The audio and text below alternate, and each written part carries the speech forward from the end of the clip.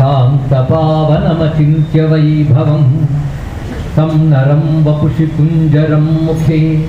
मन्महे किमपि तुन्दिलं महः। शरणं करवाणि सर्मदं ते चरणं वाणि चराचरोपजिभ्यं करुणामसृणैः कटाक्षपादैः। कुरु माम् अम्बकृतार्थसार्थवाहम्। శారదా శారదాంభోజవదనావదనాంబుజే సర్వదా సర్వదాస్మాకం సన్నిధి సన్నిధిం క్రియాత్ విమలపటీ కమలపుటీ పుస్తక రుద్రాక్షసస్తహస్తపుటీ కామాక్షి పక్ష్మలాక్షి కలిత విపంచీ విభాసి వైరించి वागर्थाविव सम्पृक्तौ वागर्थप्रतिपत्तये जगतः पितरौ वन्दे पार्वती परमेश्वरौ। गुरवे सर्वलोकानां विषजे भवरोगिणां निधये सर्वविद्यानां दक्षिणामुत्तये नमः। सर्वतन्त्रस्वतन्त्राय सदात्माद्वैतवेदिने श्रीमते शङ्करार्याय वेदान्तगुरवे नमः। श्रुतिस्मृतिपुराणानामालयं करुणालयं नमामि भगवत्पादशङ्करं लोकशङ्करं। भारतीकरुणापात्रं भारतीपदभूषणं भारतीपदमारूढम् भारतीतीर्थमाश्रये विद्याविनयसम्पन्नं वीतरागं विवेकिनं वन्दे वेदान्ततत्त्वज्ञं विदुशेखरभारतीं शिवाय गुरवे नमः शिवाय गुरवे नमः। शिवाय गुरवे नमः। शिवाय गुरवे नमः। గురవే నమః శివాయ గురవే నమ శివాయ గురవే నమః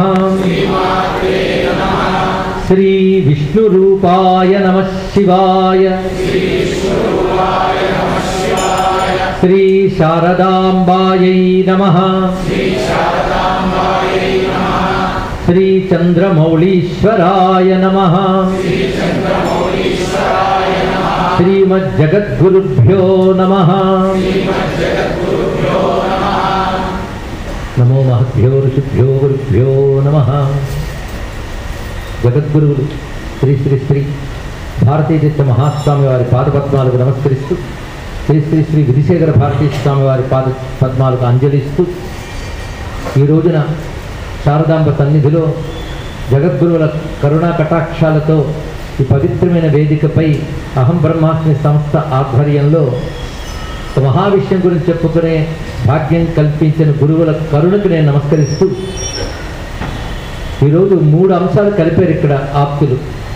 ఒకటి చతురామ్నాయ పీఠాలు అదేవిధంగా గురు పరంపర భారతీయ స్వామి వారి యొక్క వైశిష్ట్యం శృంగేరి యొక్క ప్రత్యేకత ఇవన్నీ తెలుసుకోవాలని కోరికతో చెప్పారు. నిజానికి ఇందులో ఒక్కొక్క దాని గురించి ఒక్కొక్కరు చెప్పుకోవాల్సినటువంటి చెప్పుకోవలసినటువంటి అంశం. అసలు ఒక్కొక్క రోజు చెప్పుకున్నా అంత క్లుప్తంగానే చెప్పడం అవుతుంది. అలాంటిది ఒక్క రోజులో అన్నీ చెప్పుకోవడం ఇది కూడా ఒక భాగ్యమే. భారతదేశం యొక్క గొప్పతనం ఏంటంటే ఈ దేశానికి ఆత్మ సనాతన ధర్మం. సనాతన ధర్మం భారతదేశం రెండు వేరు కాదు. విశ్వక్షేమం కోసం సాక్షాత్తు విశ్వేశ్వరుడే ఆవిష్కరించినది సనాతన ధర్మం. కనుక సనాతన ధర్మం ఎవరి వల్ల వచ్చిందంటే భగవంతుడి వల్ల వచ్చింది. భగవంతుడే దీనికి ఆది. ఏ రూపంలో వచ్చిందంటే వేద రూపంలో భగవంతుడి నుంచి సనాతన ధర్మం వ్యక్తమైంది. వేదం చెప్పినదే ధర్మం వేదోపీడ ధర్మ మూలం కనుక సనాతన ధర్మం అనగా వేదమే సనాతన ధర్మం. అసలు సనాతనం అనే మాట ధర్మం అనే మాట వేదంలోంచి వచ్చే. కనుక సనాతన ధర్మం మూలం ఏంటి? వేదం. వేదానికి మూలం ఎవరు? పరమేశ్వరుడే. అందుకే ఎస్య నిశ్వసతం వేదాహ అని వేదవచనమే మనకు ప్రమాణంగా చూపిస్తుంది. పరమేశ్వరుడు యొక్క ఊర్పులే వేదములు. ఒక వ్యక్తికి ఊపిరి ఎలాంటిదో భగవంతునికి వేదం అలాంటిది అని అర్థం. అంటే మనిషి ఎప్పుడు ఊపిరి ప్రారంభించాడంటే మనిషి ఉన్నప్పటి నుంచి ఊపిరితోనే ఉన్నాడు. అది ఈశ్వరుడు ఉన్నప్పటి నుంచి ఊపిరితోనే ఉన్నాడు. ఆ ఊపిరి ఏమిటి? వేదములు ఈశ్వరుడు ఎప్పుడున్నాడు ఎప్పుడూ ఉన్నాడు. తన వేదము కూడా ఎప్పుడూ ఉన్నదే అని అర్థం. శాశ్వతమైనది. జ్ఞానం అనే భావమే వేదం అనే పదానికి అర్థం. కానీ వేదం అంటేనే జ్ఞానం అని అర్థం. కానీ వేదాన్ని మించి జ్ఞానం మరొకటి ఎక్కడా లేదు. మీరు ఏ విధమైన ఐహికమైన ఆముష్మికమైనటువంటి లేదా పారమార్థికమైన మూడు రకాల జ్ఞానములు వేదములు ఉన్నాయి. ఐహికం అంటే ఈ లోకానికి సంబంధించింది. ఆముష్మికం అంటే పుణ్యలోకాలు ఏవైతే ఉన్నాయో అవన్నీ ఆముష్మికములు. అసలు లోకాలతో సంబంధం లేని జీవన్ముక్త స్థితిలో తెలిసేటువంటి బ్రహ్మజ్ఞానం ఉందో అది పరమార్థ జ్ఞానం. ఈ మూడు రకాల జ్ఞానానికి మూలఖండము వేదమే. కనుక ధర్మం అనే మాట వేదమే చెప్తున్నది. అసలు వేదం ఒప్పుకోనిది ధర్మం కాదు. ఆ మాట తెలుసుకుంటే చాలు. మనం మనం పాటిస్తున్న ధర్మం వేద ప్రమాణం ఉన్నదా లేదా అన్నది ప్రశ్న వేసుకుంటే వేద ప్రమాణం ఉంటే అదే ధర్మం. అదే మనల్ని తరింపజేస్తుంది. జీవుణ్ణి తరింపజేసే ధర్మము అది పరమేశ్వరునికి అభిన్నము. అలాంటి ఆ ధర్మమే శాశ్వతమైంది గనక అది ఎప్పుడూ ఉంటుంది. ఒక్కొక్కప్పుడు యుగాల వల్ల కాలంలో వచ్చే వైపరీత్యాల వల్ల ధర్మం తగ్గినట్టు కనిపిస్తుంది. ఇది ఎలాంటిదంటే సూర్యుడికి మబ్బు కమ్మినట్టుగా ధర్మం మనకు కనబడుతుంది ఉపమానం అర్థం ఏంటంటే మబ్బు కమ్మిన సూర్యుడికి ఏ లోటు లేదు. కాలంలో మార్పులు వచ్చి కనబడకుండా ఉన్న వేద ధర్మానికి ఏ లోటు రాదు అని చెప్పడం. అది ఎప్పుడు అఖండంగా ప్రకాశిస్తూనే ఉంటుంది. అయినప్పటికీ కూడా అలాంటి ధర్మానికి ఆధారం మాత్రం ఈ భూమి అంతా అయినప్పటికీ భారతదేశం ప్రధానం. ఇక్కడున్న మహర్షులు ఆసేతు సీతాచలం మహర్షుల తపఫలం వల్ల ఆ వేద మంత్రములు దర్శనమిచ్చే గనక సనాతన ధర్మం విశ్వాన్ని రక్షించేది అయినప్పటికీ కూడాను అది భారతీయ మహర్షులు తపశ్శక్తితో దర్శించారు కనుక భారతదేశం సనాతన ధర్మానికి పీఠమై ఉన్నది. అదే భారతదేశానికి సనాతన ధర్మమే ఆత్మ అని ఎందుకు చెప్పామంటే అందువల్ల చెప్పుకున్నాం. అందుకే భారతదేశం క్షేమంగా ఉంటే ప్రపంచమంతా క్షేమంగా ఉంటుంది. సనాతన ధర్మం క్షేమంగా ఉంటే భారతదేశం క్షేమంగా ఉంటుంది. మొత్తానికి ముగింపుగా చెప్పుకుంటున్నది ఏమిటంటే విశ్వమంతా క్షేమంగా ఉండాలంటే సనాతన ధర్మం క్షేమంగా ఉండాలి. దాన్ని క్షేమంగా ఉంచగలిగే శక్తి ఉంచగలిగే బాధ్యత భారతదేశానికి ఉన్నది. అందుకే ఎప్పుడైనా సరే కలి ప్రభావం చేత ధర్మానికి గ్లాని ఏర్పడితే ఈ పుణ్య భారత పనిలోనే ఈశ్వరుడైన ఈశ్వరాంశ సంభూతులైన అవతరించి ధర్మాన్ని పరిష్ఠ చేస్తూ ఉంటారు. అందుకే ఋషులు సిద్ధ పురుషులు ఎప్పటికప్పుడు వస్తుంటారు అయ్యో కలికాలం ధర్మం దెబ్బతింటోంది అనుకున్నప్పటికీ కూడా ఆశాజనకంగా మహాత్ములు వస్తూనే ఉంటారు. అది మనకి ధైర్యం అదొక ఆసర అదొక భరోసా. కాబట్టి ఎప్పటికప్పుడు ఈ సనాతన ధర్మాన్ని రక్షిస్తున్న మహాత్ములు వస్తూ ఉంటారు. అలాగే కలియుగ ప్రారంభంలో ద్వాపర యుగాంతంలో రాబోతున్న కలియుగం తెలుసుకొని సాక్షాత్ భగవంతుని అవతారమైనటువంటి నారాయణుడు బాధరాయణుడు వ్యాస భగవానుడు పరిపూర్ణ అవతారమైన కృష్ణ పరమాత్మ యొక్క ఆదేశంతో రానున్న కలియుగం కోసం వేదములను వ్యాసం చేశాడు పురాణములను అందించాడు అదేవిధంగా భాగవతాన్ని అనుగ్రహించాడు బ్రహ్మసూత్రాన్ని ప్రసాదించాడు. ఇదే సనాతన ధర్మమును చూపించేశాడు. అంటే సనాతన ధర్మానికి ఆధారం ఏంటి శృతి స్మృతి పురాణములు మూడు కూడా. శృతి అనగా వేదము. వేదంలో ఉన్నదాన్ని మనకి అనువుగా స్మరించి చెప్పేది స్మృతి. తర్వాత వచ్చింది పురాణములు. ఈ మూడే సనాతన ధర్మానికి ఆలవాలము. ఈ మధ్యలో మనకు మంత్రశాస్త్రాలు అని ఉన్నాయి. మృతులంటే ధర్మశాస్త్రాలు. ఈ మంత్రశాస్త్రాలు ఇవన్నీ కూడా శృతి పురాణం వీటిల్లో అంతర్లీనమై ఉన్నాయి. కానీ శృతి స్మృతి పురాణం ఈ మూడింటికి మనం నమస్కరించుకోవాలి. ఎందుకంటే ఈ మూడు సనాతన మూలములు. అది గురువు అంటే ఎవరయ్యా అంటే ఈ మూడింటి ప్రమాణంతో మాట్లాడిన వాడే గురువు అవుతాడు. అదే పురాణాలు అక్కర్లేదు వేదాలు అక్కర్లేదు నేను చెప్పింది వినండి అంటే నువ్వు నాకు అక్కర్లేదని మనం చెప్పాలి కానీ శృతి స్మృతి పురాణం ఆ మూడు ప్రమాణములతో చెప్పిన వాడేవాడు? వ్యాస భగవానుడు. వాటిని అందించిన వాడే ఆయన మనకి. కనుక మనం వ్యాసుడు వారిని నమస్కారం చేస్తాం. కానీ వ్యాసులతో ప్రారంభం కాలేదు ఈ ధర్మం. సనాతనమైన ధర్మం వ్యాసులు వారు మనకు అందించారు. కనుక వ్యాస భగవానుడికి మనం నమస్కారం చేసుకుంటాం. ఇలాంటి సనాతన ధర్మంలో మళ్ళీ కలి ప్రభావం చేత అవైదికములైన మతముల యొక్క ప్రభావం ఏర్పడి వైదిక మతముల్లోనే పరస్పర భిన్నాభిప్రాయములు ఏర్పడి సమన్వయం లోపించినప్పుడు దుర్మతములు ప్రారంభమయ్యాయి. అలా డెబ్బై రెండు దుర్మతాలు వ్యాపించుండేవిట. అలాంటి డెబ్బై రెండు దుర్మతాలతో సనాతన ధర్మానికి ఒక విధమైన గ్లాని ఏర్పడినప్పుడు అసలు ధర్మం ఏమిటి? అసలు జ్ఞానం ఏంటో చెప్పడం కోసం ఆవిర్భవించినటువంటి దివ్యావతారమే ఆదిశంకరుడు కానీ వ్యాసుని తర్వాత మళ్ళీ మనం ఆదిశంకరుల్ని చెప్పుకోవాలి ఇక్కడ. అంటే మధ్యలో గురు పరంపర లేదా అంటే చాలా గురు పరంపర ఉన్నది. కానీ మనకి వ్యాసుని తర్వాత శంకరుని చెప్పుకుంటాం. ఆ గురు పరంపర ఇచ్చిందంతా తీసుకొచ్చి ప్రతిష్ఠ చేశారు. అటువంటి ఆదిశంకరుడు యొక్క వైభవం చెప్పాలి అంటే మళ్ళీ శంకర్ విజయమే అవుతుంది. అది మహాగ్రంథం అది నిత్యం పారాయణ చేసుకోదగ్గ గురు చరిత్ర ఆది శంకర చరిత్ర. ఇది తెలుసుకుంటే జాగ్రత్త. రెండే రెండు గురు చరిత్రలు ఉన్నాయండి. ఒకటి దత్తాత్రేయ స్వామి వారి యొక్క గురు చరిత్ర రెండవది ఆది శంకర చరిత్ర. ఈ రెండే గురు చరిత్రలు. ఇవి పారాయణ చేసి అద్భుతాలు పొందవచ్చు. అందుకే శంకర విజయమునకు మహాగ్రంథాన్ని అనుగ్రహించారు. శృంగేరి పీఠానికి చెందినటువంటి మహానుభావులు విద్యారణ్య స్వామి వారు అది శంకర దిగ్విజయం. అది శంకరుల యొక్క జీవిత ఘట్టాలన్నీ చూపిస్తుంది. అందులో ఒక్కొక్క ఘట్టం ఒక్కొక్క అద్భుతమైనటువంటి దివ్య సన్నివేశాలతో ఉంటుంది. అది మనం పారాయణం చేసుకున్నా అంటే శ్రవణం చేసినా మననం చేసినా పఠనం చేసినప్పటికి కూడా గురుచరిత్రలు ఇచ్చే ఫలితాన్ని ఇస్తుంది. అది శంకరుల యొక్క చరిత్రని గురుచరిత్రగా మనం పారాయణ చేయవచ్చు. దాన్ని మనం క్లుప్తంగా ఇప్పుడు కొంచెంగా స్మరించుకోవాలన్నప్పటికీ కాలడి పట్టణంలో ఆర్యాంబా శివగురులకు జన్మించినటువంటి ఆ మహానుభావుడు ముప్పై రెండేళ్ళకి అనుకున్నదంతా సాధించి పరంధామానికి చేరుకున్నాడు. అంతే కదా? అది అచ్చం వామనావతారం వలనే పుట్టిన దగ్గర నుంచి వచ్చిన పని కోసం పనిచేసిన అవతారం అండి. శంకరుడు యొక్క గొప్పతనం అది ఇక్కడ. పుట్టిన దగ్గర నుంచి వచ్చిన పని కోసం ఆయన ప్రయత్నించారు లేకపోతే మూడేళ్ళకే సర్వ వేద వేదాంగము నేర్చుకున్నాడు ఆయన. అందుకే అప్పుడే ఉపనయనం వేద వేదాంగం నేర్చుకున్నాడా అంటే అర్థం గురుకులానికి వెళ్ళి నేర్చుకున్నదని కాదు తత్స్ఫురణ దాని యొక్క శక్తి ఆయనకు అప్పటికే ప్రాప్తించింది.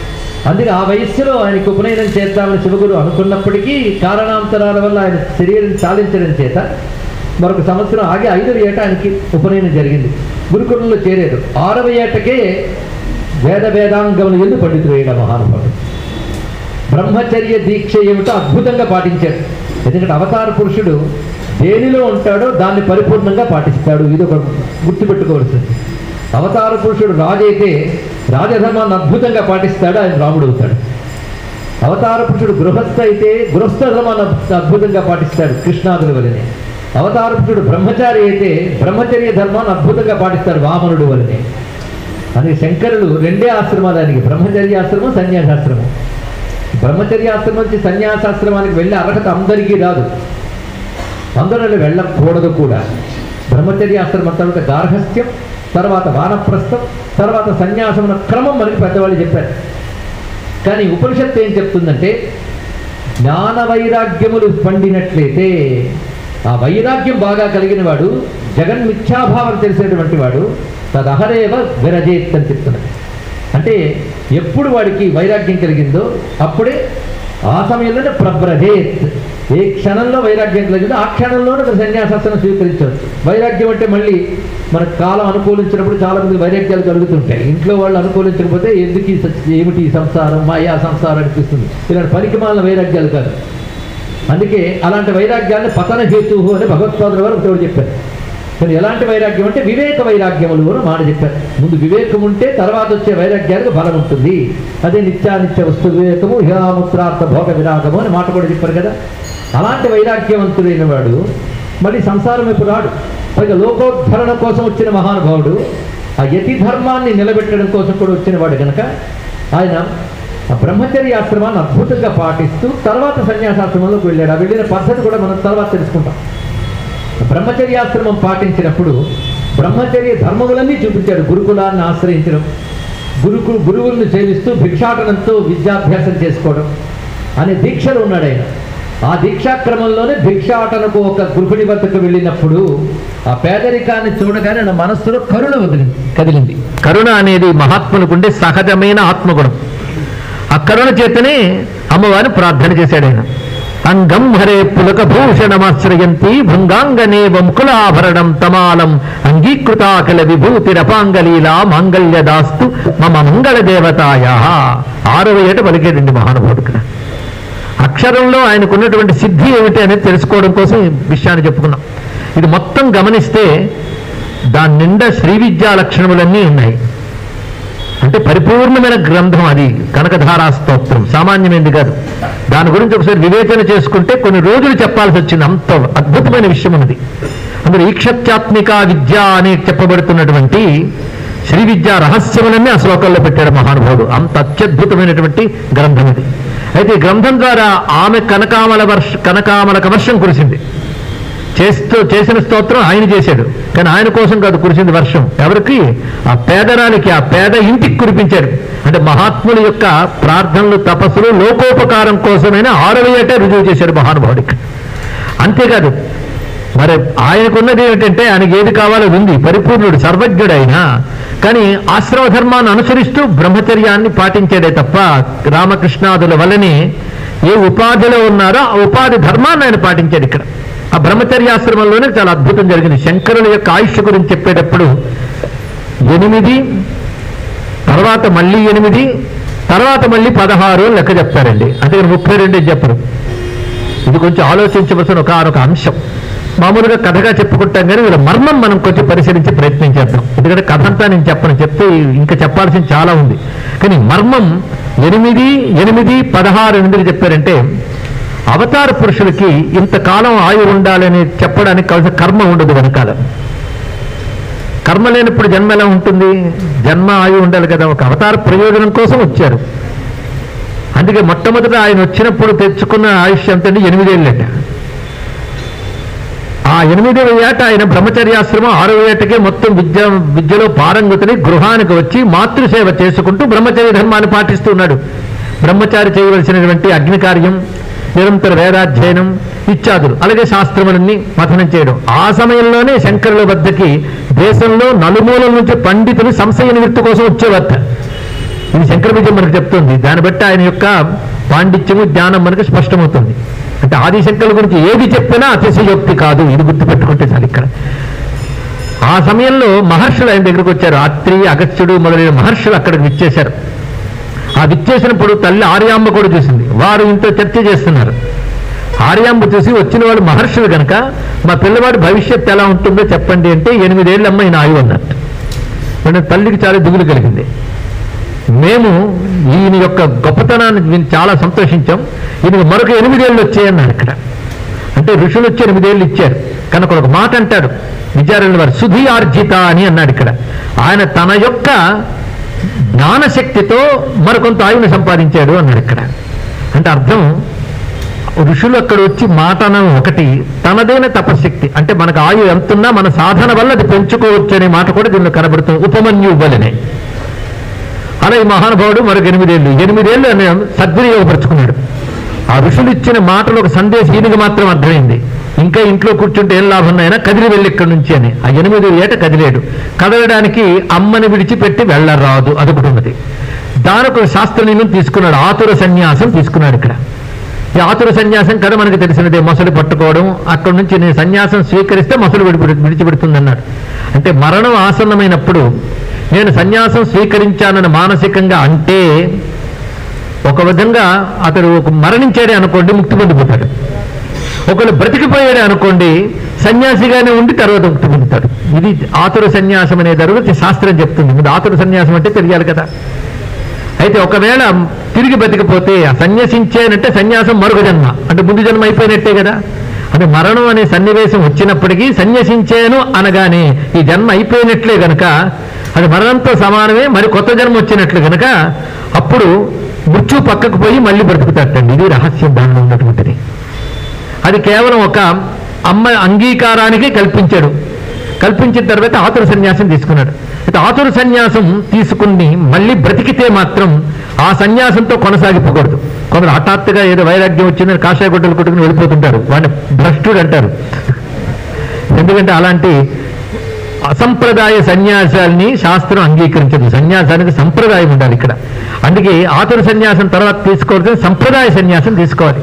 ఆతుర సన్యాసం తీసుకున్నవాడు తిరిగి బ్రతికినట్లయితే ఎలాగో బ్రతికిపోయిన కనుక గృహస్థాశ్రమం కలదాం అనకూడదు. మరి సన్యాసాశ్రమాన్ని స్వీకరించాలి. అయితే ఎలాగో సన్యాసం డిక్లేర్ చేశాను కనుక సన్యాసాన్ని కొనసాగకూడదు. అప్పుడు సంప్రదాయ సన్యాసి తీసుకోవాలి. సంప్రదాయ సన్యాసి తీసుకోవాలంటే ఒక సిద్ధుడైన సన్యాసి వద్ద వెళ్ళి దీక్షగా సన్యాస స్వీకారం చేయాలి. అప్పుడు బయలుదేరాడు ఆయన అక్కడి నుంచి కాలడి నుంచి నర్మదా నదీ తీరం వరకు బయలుదేరండి ఓంకారేశ్వర క్షేత్రం ఉండే అక్కడ దాకా వెళ్ళాడు. ఎక్కడి కాలడి? ఎక్కడి నర్మదా? అక్కడికి వెళ్ళడం బుద్ధి. కేరళలో కాలల్లోని పిల్లాడు ఎలా కలిగిందో అలాంటప్పుడే తెలుస్తుంది. శంకర శంకర సాక్షాత్ అని అంగీకరించక తప్పదు. అలా బయలుదేరిన మహానుభావుడు ఆ నర్మదా నదీ తీరం వద్దకు వెళ్ళి గురువు ప్రసాదనం చేశాడు. అక్కడ గురువు ఎవరు? గోవింద భగవత్పాదుల వారు. ఆయన గుహలో ఉన్నాడు. గుహాద్వారం ప్రాదేశ మాత్రం ప్రాదేశ మాత్రం అంటే జుట్టెడు అని కొలత. చెయ్యి చాస్తే మన జానెడు అంటూ ఉంటామే ఆ కొలత. అంతే ఉంది గుహాద్వారం. ఆ ద్వారం నుంచి లోపలికి వెళ్ళి ఆయన ఎలా కూర్చున్నాడు ఆశ్చర్యమే కదా. సిద్ధ పురుషులకి ఇది ఆశ్చర్యకరమైన విషయం ఏం కాదు. పైగా పతంజలి యొక్క స్వరూపమే గోవింద భగవత్పాదులని శంకరులే అన్నట్టుగా శంకర విజయం మనకు చెప్తుంది ఇక్కడ. పతంజలి అంటే ఆదిశేషువే కదా. అలా ప్రవేశించగలిగే శక్తి ఆ యోగ లక్షణం అది. ఆ శక్తి యోగానికి ఉంటుంది. దానివల్ల ఆయన లోపల ఉన్నాడు. ఆ విషయం తెలుసుకుని గుహ ముందు నిలబడి ఈయన స్తోత్రం చేశాడు ఆయనకి. కష్టం అన్నాడు ఆయన లోపల నుంచి ఎవరు నువ్వు అని. ఆ ప్రశ్న మనకు వేసుకుంటే ఎవరు నువ్వంటే ఏమనొస్తుంది? ముందు శరీరము నామము రూపము అని. ఇవన్నీ తోస్తాయి. కానీ నామము రూపము వీటితో మమకారమైన పరిహరించగా ఏది మిగిలింటుందో దేన్ని పరిహరించలేమో అదే నేను అన్నాడు మహానుభావుడు. తదేకో విశిష్ట శివ కేవలం. ఏక అవశిష్ట శివ కేవలం. అన్నీ తీయగా ఏది మిగిలి ఉంటుందో దేన్ని తీసేయలేమో అదే నేనన్నాడు అంటే ఎక్కడ అలా చెప్పాలో అలా చెప్పాలండి. ఎవరైనా నువ్వెవరు అని అడగగానే ప్రతి వాడి దగ్గర ఇలా చెప్పకూడదు. అడిగిన వాడి బట్టి చెప్పాలి. ఏదైనా అప్లికేషన్ పెట్టుకో పెట్టుకోవడానికి నువ్వెవరు అంటే మన పేరే చెప్పాలి కానీ నామరూపాలు లేని ఆత్మని వారి దగ్గర చెప్పకూడదు. ఎక్కడ చెప్పాలి అక్కడ చెప్పాలి. కనుక ఆయన ఏ విధానంలో వచ్చాడో ఎవరిని ఆశ్రయించాడో వారి ద్వారా పొందవలసినటువంటి ఆశ్రమానికి ఏ జ్ఞానం అర్హతో ఆ జ్ఞానాన్ని సమాధానంలో చెప్పాడు. అది శంకరుల గురించి తెలుసుకునే అద్భుతమైన విషయం. అప్పుడు చాలా సంతోషించి గోవింద భగవత్పాల్ వారిని చేరదీసి మహావాక్యోపదేశాదులతో యథావిధిగా యథావిధిగా సన్యాస దీక్షని అనుగ్రహించారు. అప్పుడు సంప్రదాయబద్ధమైన సన్యాస దీక్షను తీసుకుని గురువు వద్ద ఆయన ఉంటూ ఉన్నారు.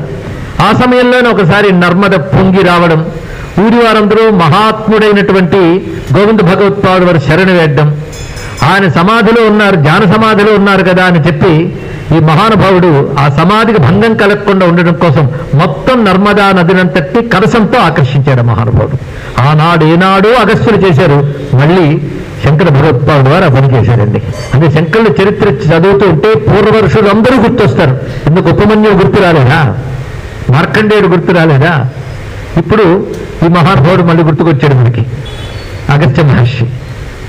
అంతే పూర్వపురుషులందరూ కలిసినటువంటి అద్భుత స్వరూపం ఇది ఇక్కడ.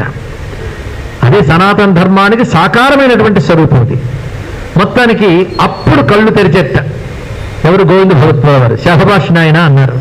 ఎందుకంటే చాలా కాలం క్రితం మేము హిమాలయ సిద్ధాశ్రమాల్లో హత్రి మహర్షి ఒక యజ్ఞం తలపెట్టినప్పుడు మేమందరం అక్కడ ఉన్నాం. ఋషులు వచ్చారు దేవతలు వచ్చారు. ఆ సమయంలో వ్యాసులు వారిని ఒక ప్రశ్న వేశాం. తమరు బ్రహ్మసూత్రములను ఒక అద్భుతమైన గ్రంథాన్ని రచించారు. సూత్రం అంటే అంత జ్ఞానాన్ని ఒక వాక్యంలో పెడితే సూత్రం అవుతుంది అలాంటి సూత్ర రచన చేశారు. దానికి సరియైన హృదయాన్ని ఆవిష్కరించగలగడం ఇప్పుడు జరగలేదు. ఎవరికి తోచినట్టు వాళ్ళు రాశారు కానీ సరైనది జరగట్లేదు? అంటే ఒక మహానుభావుడు రాబోతున్నాడు ఆయన కొంతకాలంలో. అతడు చేస్తాడు దానికి భాష్యం అన్నారు. అయితే ఆ మహానుభావుని ఎలా పోల్చుకోగలగడం అంటే ఈ గోవింద భగవత్పాదుల వారి దగ్గరికి ఆయన వస్తాడు. ఎవరైతే నర్మదా నదిని కలసంతో ఆకర్షిస్తాడో అతడే ఆ మహానుభావుడు అని చెప్పారు ఇక్కడ. నువ్వు వచ్చినప్పుడే నాకు తెలిసినప్పటికీ వ్యవహారమైన నిర్ధారణ కోసం నేను చూస్తూ ఉన్నాను. ఇప్పుడు వ్యవహారం తేలిపోయింది కనుక నువ్వు ఇక్కడ కూర్చుంటే లాభం లేదు బయలుదేరి వెళ్ళని. శాసించారు గురువులు. గురువులు శాసిస్తేనే బయలుదేరాలి. అంటే అక్కడి నుంచి బయలుదేరాడు. ఎక్కడికి వెళ్ళమన్నాడు? కాశీక్షేత్రానికి వెళ్ళమన్నారు. ఎందుకంటే కాశీ జ్ఞాననిధి. మొదటి నుంచి శాస్త్రములకు పుట్టినిల్లు కాశీ. అది ఆచార్యుడిగా లోకానికి ఉపదేశించగలిగిన జ్ఞానము అందించగలిగే భూమి కాశీ గనుక కాశీ క్షేత్రానికి వెళ్ళారు. అక్కడికి వెళ్ళిన కొద్ది కాలానికి ఆయన కొందరు శిష్యులు చేరారు. సనందుడు మొదలైన వారు కొందరు చేరారు. ఆయన చెప్తున్న జ్ఞానంతో వారు సంతోషిస్తున్నారు. ఈ సమయంలో సాక్షాత్ శివుని యొక్క ఆజ్ఞతో దానికి పెద్ద వృత్తాంతమే చెప్తారు. శరీర దృష్ట ఆత్మదృష్ట సన్యాసికి ఏది ఉండాలి? ఆత్మదృష్టి ఉండాలి. కానీ ఆత్మదృష్టికి శరీర దృష్టికి భేదమేమిటో తెలియజేస్తూ ఒక మాయారూపంతో విశ్వనాథుడే విచ్చేసి చెప్తే అప్పుడు చక్కగా తెలియజేస్తూ చండాలోస్తు సతుద్విజోస్తు గురి చేషా మనీషా మమ అనేటువంటి మనీషా పంచకంతో ఆత్మదృష్టే యతికి అవసరమనే విషయాన్ని ప్రతిపాదన చేశారు శంకర భగవత్పాదుల వారు. ఆ తర్వాత నాయన నువ్వు సూత్రభాష్యం ఉపనిషత్ భాష్యం గీతా భాష్యం మొదలు రచించాలి. ఇది రచించడానికి బదరిక చేరుకోన్నాడు ఇక్కడ కొన్ని ముఖ్య సూత్ర వంటి విషయములే మనం చెప్పుకుంటున్నాం. ఆ బదరికాశ్రమం అప్పుడు ఇప్పుడు ఎప్పుడూ కూడాను దివ్యధామము బదరికాశ్రమం. ఎందుకంటే కలియుగంలో సర్వశాస్త్రములు ఇంచుమించు అంతర్ధానమవుతాయి. అంతర్ధానమవుతున్నాయి కానీ నశిస్తాయి అనట్లేదు. సనాతన ధర్మానికి కానీ శాస్త్రాలకు కానీ ఎప్పుడు నాశనం లేదు. ఎందుకంటే పుస్తకాలు కావు నశించిపోవడానికి. మనం పెట్టుకునేటువంటి కంప్యూటర్ డిస్కులు కావు. మరి ఏమిటి అంటే అది అపౌరుషేయమైనటువంటి జ్ఞానం అయితే అది పొందగలిగే యోగ్యులు లేనప్పుడు విద్యలు అంతర్ధానమవుతాయి. పొందగలిగే యోగ్యులు ఉన్నప్పుడు విద్యలు ప్రత్యక్షమవుతాయి. అలాంటి అయోగ్యులు కాలం అయినప్పుడు కలియుగంలో ఆ విద్యను రక్షించడం కోసం దివ్యధామములైనటువంటి బదరికాశ్రమం మొదలైనవి ఉన్నాయి. ఆ బదరికాశ్రమం నరనారాయణుల చేత రక్షితమై అనేకమంది మహర్షులు ఆశ్రయించి ఉంటారు. సిద్ధభూములు సిద్ధభూములని చెప్పబడుతుంటే వాటినే మనం నిత్యం గంగాయమునియోర్ మునిభ్యచ్చ నమస్కరించేది ఆ ప్రాంతాన్ని. ఆ నరనారాయణుల ధామం. అక్కడే శాస్త్రములన్నీ ఆవిష్కరింపబడతాయి. మహర్షులందరూ అక్కడ ఉంటారు. వ్యాస భగవానుడు కూడా కలియుగం కోసం భారతాదులు రచించినప్పుడు అక్కడికి చేరే ఆ పని చేశాడు. నువ్వు అక్కడికే వెళ్ళని ఆజ్ఞాపించాడెవడు శివుడు విశ్వనాథుడు. అప్పుడు అక్కడికి వెళ్ళి అక్కడే ఆయన ఆ ఎనిమిదవ ఏట నుంచి మిగిలిన ఎనిమిదేళ్ళు చేసిన పని ఏమిటయ్యా అంటే పదహారవ ఏట వరకు ఆయన చేసిన మహాకార్యం ప్రస్థానత్రయమునకు భాష్యం రచించాడండి. ఇది పదహారవ ఏటకి పూర్తయిపోయింది నేను చేసిన భాష్య రచన మొత్తం అని శంకర విజయాది గ్రంథములు ఆది అని చెప్పామంటే శంకర విజయములు మాధవ విద్యారణ్యుల వారు రచించక ముందు చాలా ఉన్నాయి. ఆయనకు రచిస్తూనే మొదట ఇంతవరకు ఉన్న శంకర విజయాల సారం ఇందులో చెప్తున్నాను అన్నారు విద్యారణ్యుల వారే. కానీ అంతకు ముందే చాలా ఉన్నాయి.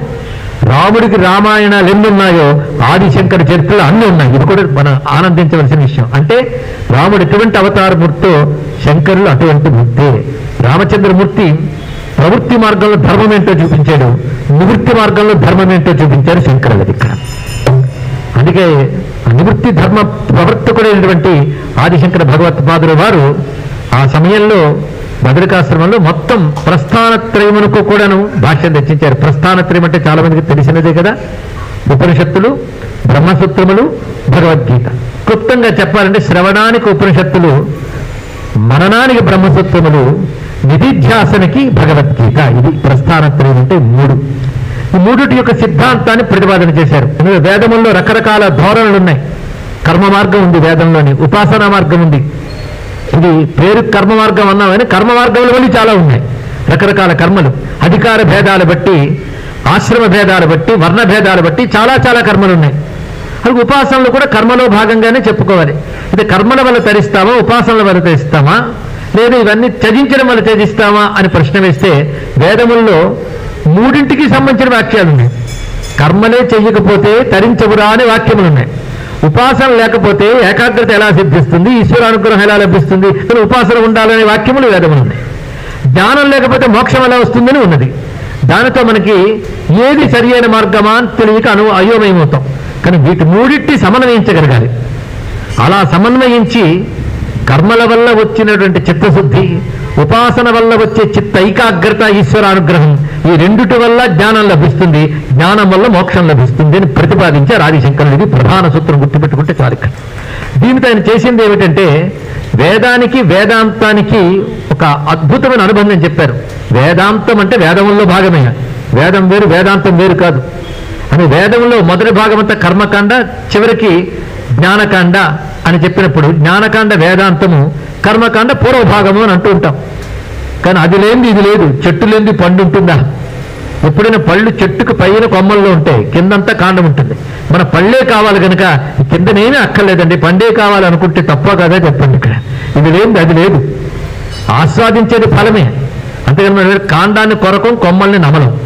పళ్ళే తింటాం. కానీ ఇది లేనిది అది లేదుగా? అదే కర్మకి ఉపాసనకి జ్ఞానానికి అనుబంధం చూపించారు మహానుభావుడు. అంతేగాని జ్ఞానం వల్ల మోక్షం వస్తున్న ప్రతిపాదన చేసినప్పటికీ అది హఠాత్తుగా రాదని ఆయనకు తెలుసు. అది వేదో నిత్యమధీయతాం తదుదితం కర్మ సనుష్ఠీయతాం అని ఉపదేశాలలో ఆయన చెప్పాడు కదా. మూడో మాట తేనే సస్య విధేయతాం. మొత్తం ఉపదేశంలో ఆ మహానుభావుడు అన్ని విషయములు చెప్పాడు. ఉపదేశ పంచకం ఐదు శ్లోకాల్లో. కానీ మొదటి మూడు గుర్తు పెట్టుకున్న వేదాది శాస్త్రములు చదువు. అందులో చెప్పిన కర్మలు ఆచరించు. అది ఈశ్వరాత్మ బుద్ధితో చేయు. అక్కడ తెలిసిపోయిన వారికి శాస్త్రాధ్యయనము కర్మ ఆచరించుట ఈశ్వరాత్మన బుద్ధి అంటే భక్తి అనేది వచ్చింది. అటు తర్వాత ఈశ్వరానుగ్రహం వల్లనే జ్ఞానం కానీ జ్ఞానం పొందాలనే వాసన గాని ఈశ్వరానుగ్రహం లేని వాడికి లేదని చెప్పారు శంకరుడు ఎక్కడ అంటే వివేక చూడమనిలో ఈశ్వరానుగ్రహాదేవ పుంసామద్వైత వాసన అని ప్రతిపాదన చేశారండి శంకరుడు ఇలాగా ప్రస్థానత్రయమైతే అద్భుతమైన భాష్యం రచించారు ఆయన. అయితే అది ఆనాటి పండిత లోకానికి సమాధానం చెప్పగలిగేటువంటి గ్రంథములవి మహామహా దిట్టలేని పండితులు అయోమయాలతో వాళ్ళ పాండిత్యాన్ని ప్రదర్శించి అయోమయాన్ని సృజించినప్పుడు ఈ మహానుభావుడు తేటగా సూటిగా సరళంగా సుభగంగా అందమైన భాషను రచించారు. శంకరుల భాష రచనలో భాషే మధురంగా ఉంటుంది. విషయాన్ని ఆవిష్కరించే తీరు అద్భుతంగా ఉంటుందండి. అంత అందంగా రచించారు. కానీ పండితులకు ముందు బుద్ధి మారితే వాళ్ళే ప్రపంచం బుద్ధి మారుస్తారు కనుక మహానుభావుడు ప్రస్థానత్రయ భాషను రచించి ప్రస్థానత్రయంలో ఏది ప్రతిపాదించాడో అది సామాన్యులకు కూడా అందాలి అని నిర్ణయించుకున్నవాడై రెండో పని ఏం చేశారంటే ప్రకరణ గ్రంథ సాహిత్యం మనకు అనుగ్రహించారు. శంకరుడు చేసిన మహా ఉపకృతి మనకి. మొదటిది ఏమిటి ప్రస్థానత్రయ గ్రంథ రచన భాష్య రచన. రెండవది ప్రకరణ గ్రంథ సాహిత్యం. పేరుకు ఒకటి అంటున్నాను కానీ దాని చాలా ఉన్నాయి. నేను ప్రస్థానత్రయం ఒక మాట అన్నాం కానీ ప్రస్థానత్రయం తక్కువ అండి. ఉపనిషత్తులు అంటే పది ఉపనిషత్తులు ఒకటే రెండా? ఇది ఒక ఉపనిషత్తు కాదు పది ఉపనిషత్తులు. కొందరు ఏమంటారంటే పన్నెండు ఉపనిషత్తులకి భాష్యం రచించారని. అది ప్రమాణమే. పన్నెండు ఉపనిషత్తులు భాష్యం రచించారు. ఉపనిషత్తు అంటే పన్నెండు. మిగిలిన ఉపనిషత్తులు కావా? మిగిలినవి కావండి. పన్నెండు మాత్రం ఉపనిషత్తులు అనుకుంటే ఒక అజ్ఞానం. ఉపనిషత్తులు వేదంలో ప్రతి శాఖ చివర ఉంటాయి. వేదానికి ఎన్ని శాఖలు ఉన్నాయో అన్ని ఉపనిషత్తులు ఉన్నాయి. మరి శంకర్లు పన్నెండింటికి ఎందుకు చెప్పారంటే ఈ పన్నెండు అర్థం చేసుకుంటే మిగిలినవి కూడా అర్థం అవుతాయని చెప్పారు. అది అని ఉద్దేశం ఇక్కడ. పన్నెండింటికి భాష్యం రచించారు. ఆ తర్వాత చేసిన పని ఏమిటి? బాధరాయండి బ్రహ్మసూత్రాలకు అసలు అవతరించింది ప్రధానమది కదా? దానికి భాష్యం రచించారు. ఉపనిషత్తు వాక్యాలకి చూపించారు. సూత్రం అంటే దారం అని ఒక అర్థం ఉంది. ఒక అర్థం ఏంటంటే సూత్రం అంటే జ్ఞానాన్ని సంక్షేప రూపంలో అందిస్తే సూత్రం అవుతుంది. దాన్ని విస్తరిస్తే భాష్యం అవుతుంది ఇక్కడ. అంతేకాదు శంకరులు అంటారు సూత్రం అంటే ఏమిటంటే తాడు అని కదా అర్థం. ఈ తాడు ఏమిటంటే పువ్వులు దండగుచ్చాలంటే ఏముండాలి? దారం ఉండాలి. అది ఉపనిషత్ వాక్యాలనే పువ్వుల్ని బ్రహ్మసూత్రాలనే తాడుతో నేను అందించాను బాధరాయండి అని చెప్తున్నాను అన్నాడు మహారాజుడు ఇక్కడ. అది సూత్రముల గురించి అంత దగ్గర చెప్పి సూత్ర భాష్యం అంతా అందించాడు. దీని తాత్పర్యం ఏమిటంటే కర్మలు ఇవన్నీ నేరుగా ముక్తినివ్వవు. ఇది తెలియజేశారు.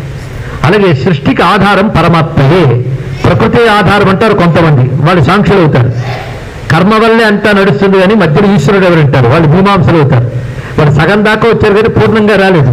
అదే పరిపూర్ణం ఏంటంటే జన్మాద్యస్య యత అనే మాటకి సృష్టి స్థితులకు ఆధారమైన పరమాత్మకుడు ఉన్నాడనే విషయం ప్రతిపాదిస్తూ ఆ పరమాత్మ యొక్క జ్ఞానాన్ని అందించడమే వేదాంతం యొక్క ప్రయోజనం. వేదాంతం పరమాత్మ జ్ఞానాన్ని అందిస్తుంది. ఇది ముందు తెలుసుకుంటే చాలు. ఆ పరమాత్మ గురించి వివేచన చేస్తున్న వాడు ఎవడున్నాడో ఆ జీవుడు ఆ పరమాత్మకు వేరు కాడు అనేది ప్రతిపాదన.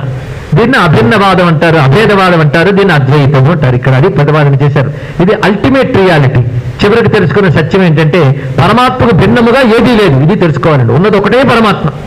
మరి పరమాత్మ తప్ప మనకు అన్నీ కనబడుతున్నాయే? పరమాత్మ ఒక్కడే అంటున్నారు అది కనిపించట్లేదు.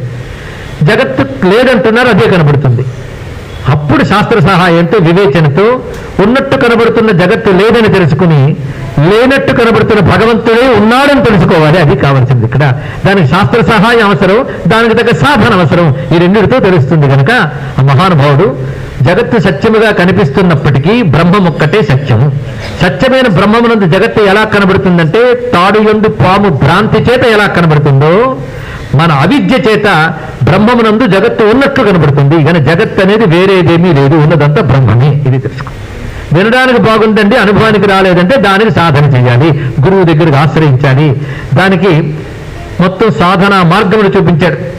అంటే నిత్యానిత్య వస్తు వివేకము ఇహాముత్రార్థ భోగ విరాధకము సమాధి షడ్గుణ సంపత్తి ముముక్షత్వము అని సాధన చతుష్టయ మార్గం చూపించాడు. అంత చక్కగా ప్రణాళిక వేశారు.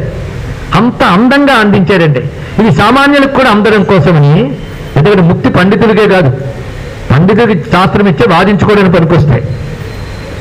వాదించుకోవడానికి శాస్త్రాలు. శాస్త్రాధ్యయనం దేనికంటే సత్యాన్ని అనుభవం తెచ్చుకోవడం కోసం శాస్త్రాన్ని అధ్యయనం చేయలేదు తప్ప ఆ శాస్త్రం పట్టుకుని వాదించుకుంటూ ఉంటే ఏం లాభం అండి? అందుకే వాదన కోసం శాస్త్రం కాదు బోధన కోసం శాస్త్రం ఇది తెలియాలి ఇక్కడ. అందుకే శాస్త్రం నిజంగా అవసరమే. లక్ష్య శుద్ధి ఉండాలి. జ్ఞానం కోసం శాస్త్రం తప్ప నీది గొప్పదా నాది గొప్పదని వాదించుకోవడం కోసం కాదు కదా. అందుకే శాస్త్రములను భాష్య రూపాలను అందిస్తూనే ముక్తి ప్రధానం కనుక దాని సారాన్ని ప్రకరణ గ్రంథ రూపాలు అందించాడు. మనం భాష్య గ్రంథాలు చదవక చదవలేకపోయినా ఆదిశంకరుల ఒక్క ప్రకరణ గ్రంథం చదివినా బ్రతుకు బాగుపడుతుంది ఇప్పుడు ఏమి సందేహం లేదు. ఒక్కడి చాలు. ఒక్కడి చాలని చెప్పేవి అనేకం ఉన్నాయి. ఏది పట్టుకుంటే అది ఒక్కడి చాలని నేను చెప్తాను. అది ఏడాదికో ప్రకటన గ్రంథం చెప్పిన అది ఒక్కడి చాలనే చెప్తూ ప్రతి ఏడాది ఏదో ఒకటి చెప్తాను కొత్తది. అలా మనం చెప్తే ఎన్ని చెప్పాలి వివేక చూడమని అద్భుతమైన గ్రంథం అండి. ఒక పాశ్చాత్యుడు ఒక మాట చెప్పాడు. నేను సత్యాన్వేషణకి నాకు ఒక ప్రశ్న కలిగినప్పుడు నేను ప్రశ్నని కాలక్షేపంగా వదిలియకుండా ప్రశ్నకి సమాధానం తెలుసుకొని తప్పించిపోయానని మహానుభావుడు రాశాడు తన స్వీయ చరిత్రలో. దానికోసం నేను ప్రపంచమంతా తిరిగాను. నేను ఏ దేశంలో ఏ మతంలో పుట్టానో మతాచారులను కలిశాను. కానీ నాలో ఉన్న ప్రశ్నకు సమాధానం లభించలేదు. పైగా డొల్ల సిద్ధాంతాలు నాకు తెలిసిపోయాయి. అలా అనేక దేశాలు తిరిగాను. అన్ని దేశాల్లో ధర్మములని శాస్త్రములని మతములని ఎవరైతే చెప్తున్నారో వాళ్ళందరినీ అడిగాను. నాకు సమాధానం దొరకలేదు. ఇలాంటి సమయంలో నాకు ఒక భారతదేశం నుంచి ఒక ఆయన ఒక పుస్తకం ఇచ్చాడు. ఆ ఒక్క పుస్తకం నాకు స్పష్టతనిచ్చింది. అది పట్టుకుని భారతదేశానికి వచ్చాను. అప్పటి నుంచి నా పేరు మార్చుకుని సనాతన ధర్మంలోనే అంకితమే సనాతన ధార్మికుడిని అన్నాడు అన్న వ్యక్తి పేరు డేవిడ్ ఫిరాలే ఆ పుస్తకం పేరు వివేక చూడమని. ఇది తెలుసుకోండి ఇక్కడ మార్చింది ఆలోచన ధోరణి. ఎంత అందంగా చెప్తారని వివేక చూడమని అద్భుతంగా చెప్తారు. మరి మాకు అర్థం కాదండి అంటే నాకు అర్థమైన విషయం ఏంటంటే మనకు ఎందుకు అర్థం కాదంటే ఏమో కావాలనుకోం కనుక అర్థం కాదు. కావాలనుకుంటే అర్థమవుతుంది. అంత అందంగా చెప్పాడండి మహానుభావుడు. అక్కడ తాగేడా చిన్న చిన్నవి. ప్రశ్నోత్తర మాలిక అని అపరోక్షానుభూతి అని ఆఖరికి ఏకశ్లోకి వరకు సహస్ర శ్లోకి వరకు ఏ- సహస్ర శ్లోకి నుంచి ఏకశ్లోకి వరకు వేదాంత విద్యను అందించాడు అన్ని పొరగడ గ్రంథాలు లెక్కలేని ఉన్నాయి మనం కొన్ని చెప్పుకున్నాం కూడా ఆత్మబోధని అపరోక్షానుభూతని ఎన్నున్నాయో? దేనికదే పరిపూర్ణం? అలా అందించిన మహానుభావుడు. వీటన్నింటి ఏమంటారు? ప్రకరణ గ్రంథములు అంటారు. అయితే ఎంత జ్ఞానం ఎన్ని విన్నా మనస్సు పరమాత్మ దగ్గర కరిగిపోవాలండి. అహంకారం పోవాలి. ఎందుకంటే ఈ పనికిమాలిన అహంకారం పోతేనే అహం బ్రహ్మాస్మి అర్థమవుతుంది ఇక్కడ. అహం దేహోస్మ నుంచి అహం బ్రహ్మాస్మికి ఎదగడానికి ఎంత సాధన కావాలి? అహంకారం తోరుగా పోతుందండి? ఒక ఆయన అహం బ్రహ్మాస్మి మీద గంట సేపు ఉపన్యాసం ఇచ్చాడు. తర్వాత ఆయన బిరుడు ఇవ్వలేదు కోపగించుకుని వెళ్ళిపోయాడు ఇక్కడ ఇలా ఉంటుంది అహంకారం అంటే ఇక్కడ. ఏం చేస్తాం? ఇద్దరు అద్వైత పండితులు కొట్టుకున్నట్టు నువ్వో నేను తేల్చేద్దామన్నాడు మనకు తేలింది ఏంటంటే ఇద్దరు అద్వైతులు కాదు. అందుకే అద్వైత పాండిత్యం వేరు అద్వైత జ్ఞానం వేరు. రెండుకి చాలా తేడా ఉంది. మన చర్చించుకోవడానికి పనికొచ్చింది. అలాంటి శంకరులు అనేక చోట్ల మందరించారు శంకరులు మందరించడం ఏంటి? ఉపనిషత్తే మందరించింది బ్రహ్మసూత్రాలే మందరించింది తత్కము అప్రతిష్ట అని చెప్తుందా లేదా? అంటే వాదో నావలంబ్య. ఎందుకు పనికొస్తాయి? ఇవన్నీ కూడా వాగ్వైఖరి శబ్దచరి శాస్త్ర వ్యాఖ్యాన కోసం ఎందుకు ఇవన్నీ? భుక్తయే నతు ముక్తయే అని చెప్పాడు మహానుభావుడు అది పరమార్థం కాదు. అది అద్వైత జ్ఞానం ఏదైతే ఉన్నదో దాన్ని అందించుతూ ప్రకటన గ్రంథాల్లో అంత అందంగా చూపించారండి అందుకే అది రావాలంటే అహంకారం కరగాలి అహంకారం ఎప్పుడు కరుగుతుందో తెలుసా? పరమాత్మపై భక్తి ఉన్నప్పుడు కరిగిపోతుంది ఈశ్వరుడు అనుగ్రహం లభిస్తే పోతుంది. కనుక నీ చిన్న అహంకారం పరమాత్మ దగ్గర కరిగిపోయి పెద్ద అహంకారంగా మారితే అదే ముక్తి. పెద్ద అహంకారం అంటే అహం బ్రహ్మాత్మ పోవాలి అసలహం అది. కనుక బ్రహ్మముని భక్తిగా ఆరాధించాలి. దేనిగా? భక్తిగా. ఆ భక్తి కోసం స్తోత్ర సాహిత్యాన్ని అందించారు ఇది మూడవది స్తోత్ర సాహిత్యం మొదటిది భాష్య వాంగ్మయం రెండవది ప్రకరణ వాంగ్మయం మూడవది స్తోత్ర వాంగ్మయం నేను పేరుకి స్తోత్ర వాంగ్మయం ఒక్క మాటతో చెప్పాను కానీ స్తోత్రాలు ఎన్ని ఉన్నాయండి అష్టకాలు మొదలుకొని లహరుల వరకు ఉన్నాయి. లహరులు అంటే మీకు తెలి తెలిసినదే ఎప్పుడు ఇక్కడ ప్రవహిస్తూ ఉంటాయి లహరులు. ఒక సౌందర్య లహరి ఒక శివానంద లహరి. అంతేనా? మీకు ఓపిక ఉండాలే కానీ ఎన్ని రకాల స్తోత్రాలు? ప్రతి శంకరుల స్తోత్రాన్ని అద్వైత జ్ఞానంతో పరిశీలిస్తే ప్రతి స్తోత్రంలో అద్వైత సంస్కారమే కనబడుతుంది. ఇది తెలుసుకోండి. మామూలుగా ఉపాసకులు లౌకిక ప్రయోజనాల కోసం చాలా స్తోత్రాలు చేశారు. కానీ శంకరుల యొక్క స్తోత్ర సాహిత్యంలో కూడా పరమాత్మ జ్ఞానము జీవుడికి పరమావధి అయినటువంటి జీవ బ్రహ్మైక్యం ఇవే కనబడతాయి. అది ఎలాగో అంటే పెద్ద పరిశోధనగా చెప్పచ్చు. అన్ని రకాల అష్టకాల మొదలుకు లహరుల వరకు ఒకటే మాట చెప్పేశాం అందులో సుబ్రహ్మణ్య భుజంగం కావచ్చు లక్ష్మీ నృసింహం అమదే కరావలంబం కావచ్చు గణేశ పంచరత్నం కావచ్చు. మన తేలిగ్గా అనుకునే గణేశ పంచరత్నం అంత తేలికేం కాదు. మామూల నితాంతకాంత దంతకాంతి మంతకాంతకాత్మజం అచించ రూపం అంతహీనం ఆ మాటలు చాలదండి పరమాత్మ అంటే ఏంటో చెప్పడానికి. గణపతి అంటే ఏమిటి? తొండం పట్టుకుంటుంది దేవుడు అనుకుంటున్నారా? అచించ రూపం. అంత అంతహీనం అంటే పరబ్రహ్మమే అని ప్రతిపాదన చేస్తున్నాడు. పరాత్పరం నిరంతరం అన్నాడు ఇక్కడ. ఆ చెప్పేటప్పుడు గణపతి తత్వం చూపించాడు సూచనలు అందించాడు నన్ను పంచరత్నాన్ని వ్యాఖ్యానం చేయట్లే. ఇలాగా ప్రతి స్తోత్రంలో కూడాను అపూర్వమైనటువంటి వైరాగ్యము పరమాత్మను తలంచకుండా కరిగిపోయే చిత్తవృత్తి ఇలాంటితో ఆయన ఎన్ని స్తోత్రాలు అందించాడండి. భారతదేశంలో ఆయన చేత స్తోత్రింపబడాలని ప్రతి క్షేత్రంలో ప్రతి దేవుడు కోరుకున్నాడు. ఇందుకు చెప్పడం సందేహం లేదు. ఆయన కాశీకి వెళ్తే కాలభైరవుడు కోరుకున్నాడు ఆమె స్తోత్రం ఇస్తే బాగుంటుంది అప్పుడు దేవరాజ సేవ్యమాన పావనం కృపంకజం వ్యాళ యజ్ఞ సూత్రబిందు శేఖరం కృపాకరం నారదాది యోగి బృంద వందితం దిగంబరం కాశికాపురాధినాథ కాలభైరవబ్బడి అన్నాడా లేదా? అంతేకాదు విశ్వనాథ కూడా కోరుకున్నాడు.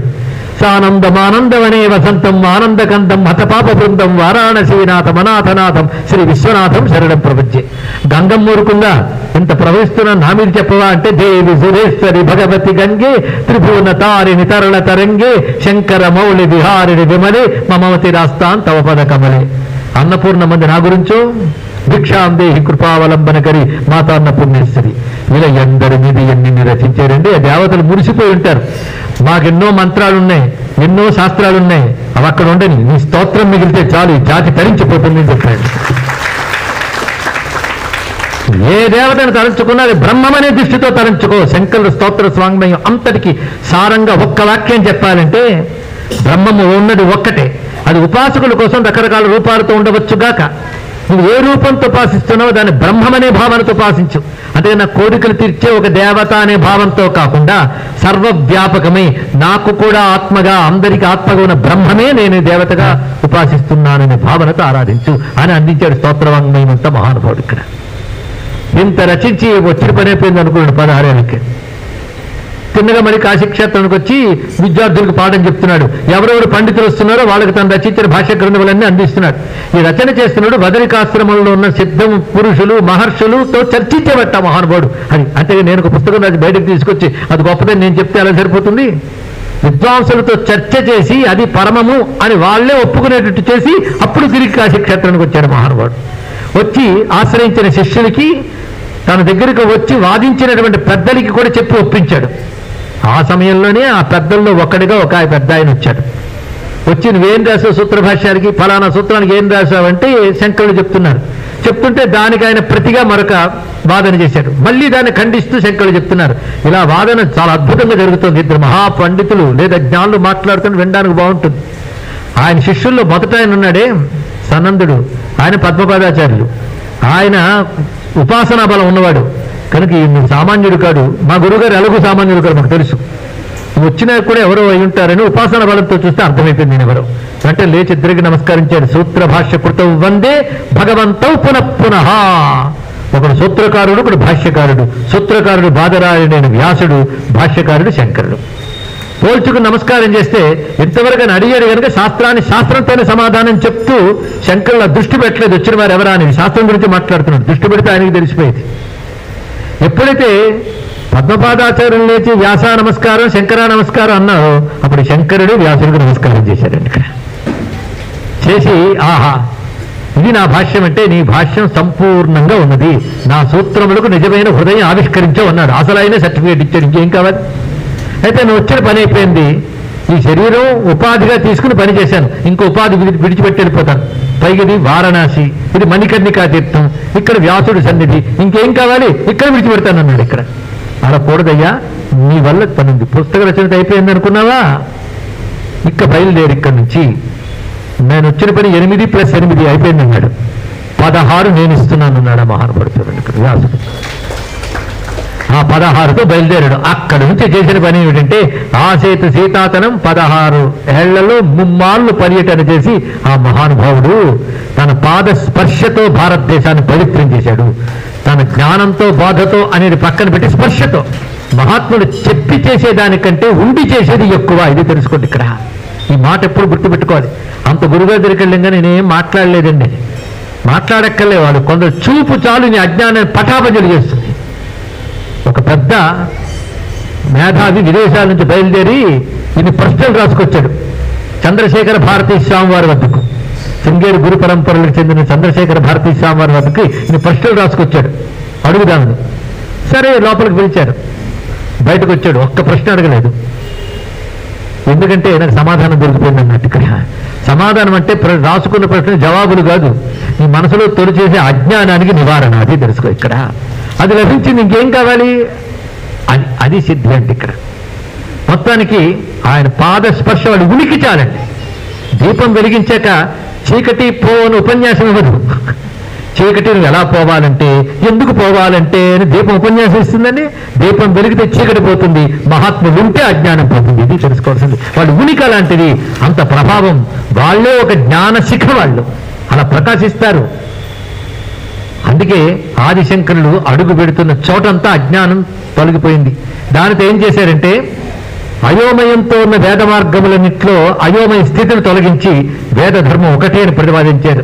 రకరకాలుగా కనబడుతున్న వేద మార్గములకు ఉపనిషత్ ప్రతిపాద్యమైనటువంటి అద్వైతమే పరమావధి అని ప్రతిపాదన చేశారు. అటు ఇటు తిరుగుతున్న ఆవులన్నింటినీ ఒక కోష్టంలో పెట్టి గోశాల అన్నట్లుగా రకరకాల సంప్రదాయ మార్గములన్నింటినీ వేదాంతం అనే కోష్టంలో పెట్టి ఏకం చేసిన మహానుభావుడు ఇక్కడ. అందుకే చాలా మంది అంటారు ఆదిశంకరుడు అద్వైత మత ప్రతిష్టాత వేదాంత మత ప్రతిష్టాత అని. ఒక్కరు గుర్తుపెట్టుకోండి ఆదిశంకరుడు సమగ్ర వైదిక ధర్మ ప్రతిష్టాత ఇది గుర్తుపెట్టుకోండి ఆయన అద్వైతం చివరిది పరమమును ప్రతిపాదించాడే గాని వేదము చెప్పిన అన్ని మార్గాలను ఉద్ధరించాడు. ఆదిశంకరుడు అనే వారే లేకపోయి ఉంటే వేదము చెప్పిన అన్ని మార్గములు కూడా లుప్తమైపోయేవి వేదము చెప్పిన శివభక్తి వేదము చెప్పిన విష్ణుభక్తి వేదము చెప్పిన శక్తి భక్తి ఇవన్నీ లుప్తమైపోయింది. కానీ వేదం చెప్పిన వైష్ణవ శైవ సౌర శాక్తేయ గాణపత్య స్కాందాది ఆరు మతములు కూడాను అద్వైత లక్ష్యంతో ఎలా సమన్వయింపబడతాయో ఒకే సత్యం ఆరు రూపాలుతుంది కానీ ఇవి ఆరు సత్యాలు కాదయ్యా అని చెప్పి నువ్వు వైష్ణవుడిగా బ్రతుకు శైవుడిగా బ్రతుకు ఏం పర్వాలేదు. అన్నీ ఒకే బ్రహ్మమని తెలుసుకో. ఆ బ్రహ్మమే నువ్వని చివరికి తెలుసుకో. ఇది ఆయన చెప్పింది ఇక్కడ. దీన్ని బట్టి మనలో మనం కొట్టుకునేటటువంటి ఆరు మతాల్లో వాటి సంప్రదాయాలన్నీ పోయి అవన్నీ కలిసిపోయి అని షణ్మత స్థాపనాచార్య అయ్యారు మహాత్ముడు ఎంత అద్భుతంగా పరిష్కరించారండి. అంతేకాదు యజ్ఞయాగాది క్రితంలో కర్మలు కదా. కర్మలు ముక్తులు కదా అంటే ఎవడు చెప్పాడు కర్మ ఆచరణ లేదు ముక్తి లేదు. కనుక ప్రతి ఆశ్రమం వాడు వేదం చెప్పిన కర్మలు ఆచరించాలి. లేదు ముక్తి కావాలి. అయితే ఒక పని చేయి. ఈశ్వరార్పణ బుద్ధితో చెయ్యి. ఫలాకాంక్ష లేకుండా. తద్వారా చిత్తశుద్ధి జ్ఞానము పొందు. ఇలా చెప్పాడు. అన్నిటి ఆ విధంగా సంస్కరించారు అంతేగాని శంకరుడు దేన్ని తీసి పారేయలేదు ప్రతిదానికి పరమార్థం చూపించారు. ఇది తెలుసుకోవాలి ఇక్కడ? పరమార్థ దృష్టితో వీటన్ని సమన్వయించారు. అది ఆదిశంకరుడు చేసిన గొప్ప పనండి. సూత్రప్రాయంగా ఈ వృత్తాంతం తెలుసుకుంటే చాలు.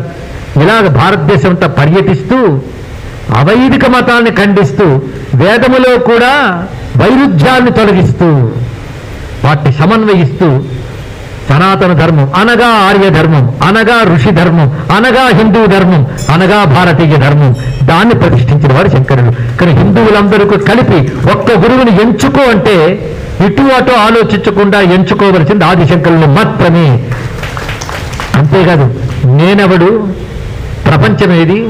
పరమాత్మ ఎవడు అని మూడు ప్రశ్నలకి సమాధానం వెతుక్కోవాలంటే గురువు ఆదిశంకరులు మాత్రమే. కనుక తత్వ జిజ్ఞాస కలిగిన వాడు ప్రపంచంలో ఏ మూల నుంచి బయలుదేరినా వాడికి ఒకే ఒక్క గురువు ఆదిశంకరులు మాత్రమే. అందుకే జగద్గురు వాక్యము జగద్గురు పదం ఆయనకు మాత్రమే వర్తిస్తుంది. ఇదొక్కటి తెలుసుకుంటే చాలు. అది ఎలాగో అనేది ప్రతిపాదించాలంటే కొన్ని రోజులు ఉపన్యాసం అవుతుంది మొత్తం ఇక్కడ. కనుక తత్వ జిజ్ఞాస కలిగిన ఏ ఒక్కడికైనా గురువు ఆదిశంకరులే. ఇది మర్చిపోకటి ఇక్కడ. అంత చక్కటి సమాధానం చెప్పాడు మహానుభావుడు. అలాగా ముప్పై రెండే మిగిలిన పదహారేళ్ళతో కలిపి ముప్పై రెండే. దాంట్లో ఆ మహానుభావుడు చేసిన పని ఎన్ని రకాలు చేశారు చూడండి. ఒక వ్యక్తి ముప్పై రెండేళ్ళు నిన్ను చేయగలడా? అందుకే ఇక్కడ యువత కొంతమంది కనబడుతున్నారు. వాళ్ళకి చెప్తున్నది ఏంటంటే ఆఫ్టర్ రిటైర్మెంట్ వేదాంతం అనే అజ్ఞానం మీ పెద్దలు నేర్పి ఉంటే అది అజ్ఞానమనే తెలుసుకోండి ఇక్కడ.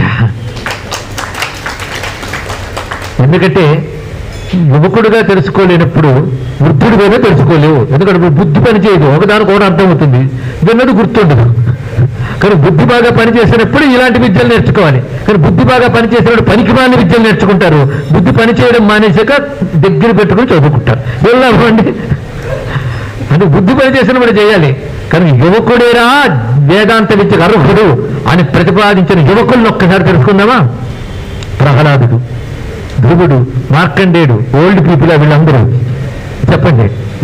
ఒక శంకరాచార్య తర్వాత తరాల్లో మనం చూస్తుంటే ఆధునికంగా చూసిన వివేకానంద మొదలైన వాళ్ళందరూ ఎవరు? వృద్ధులా? అది చూసేదని తెలియాలా? ముప్పై రెండేళ్ళకు వచ్చిన పని అంతా చేశారంటే ఎప్పటి నుంచి ఆయన ప్రారంభించుంటాడు ఇది కూడా ఆలోచించాడు కదా.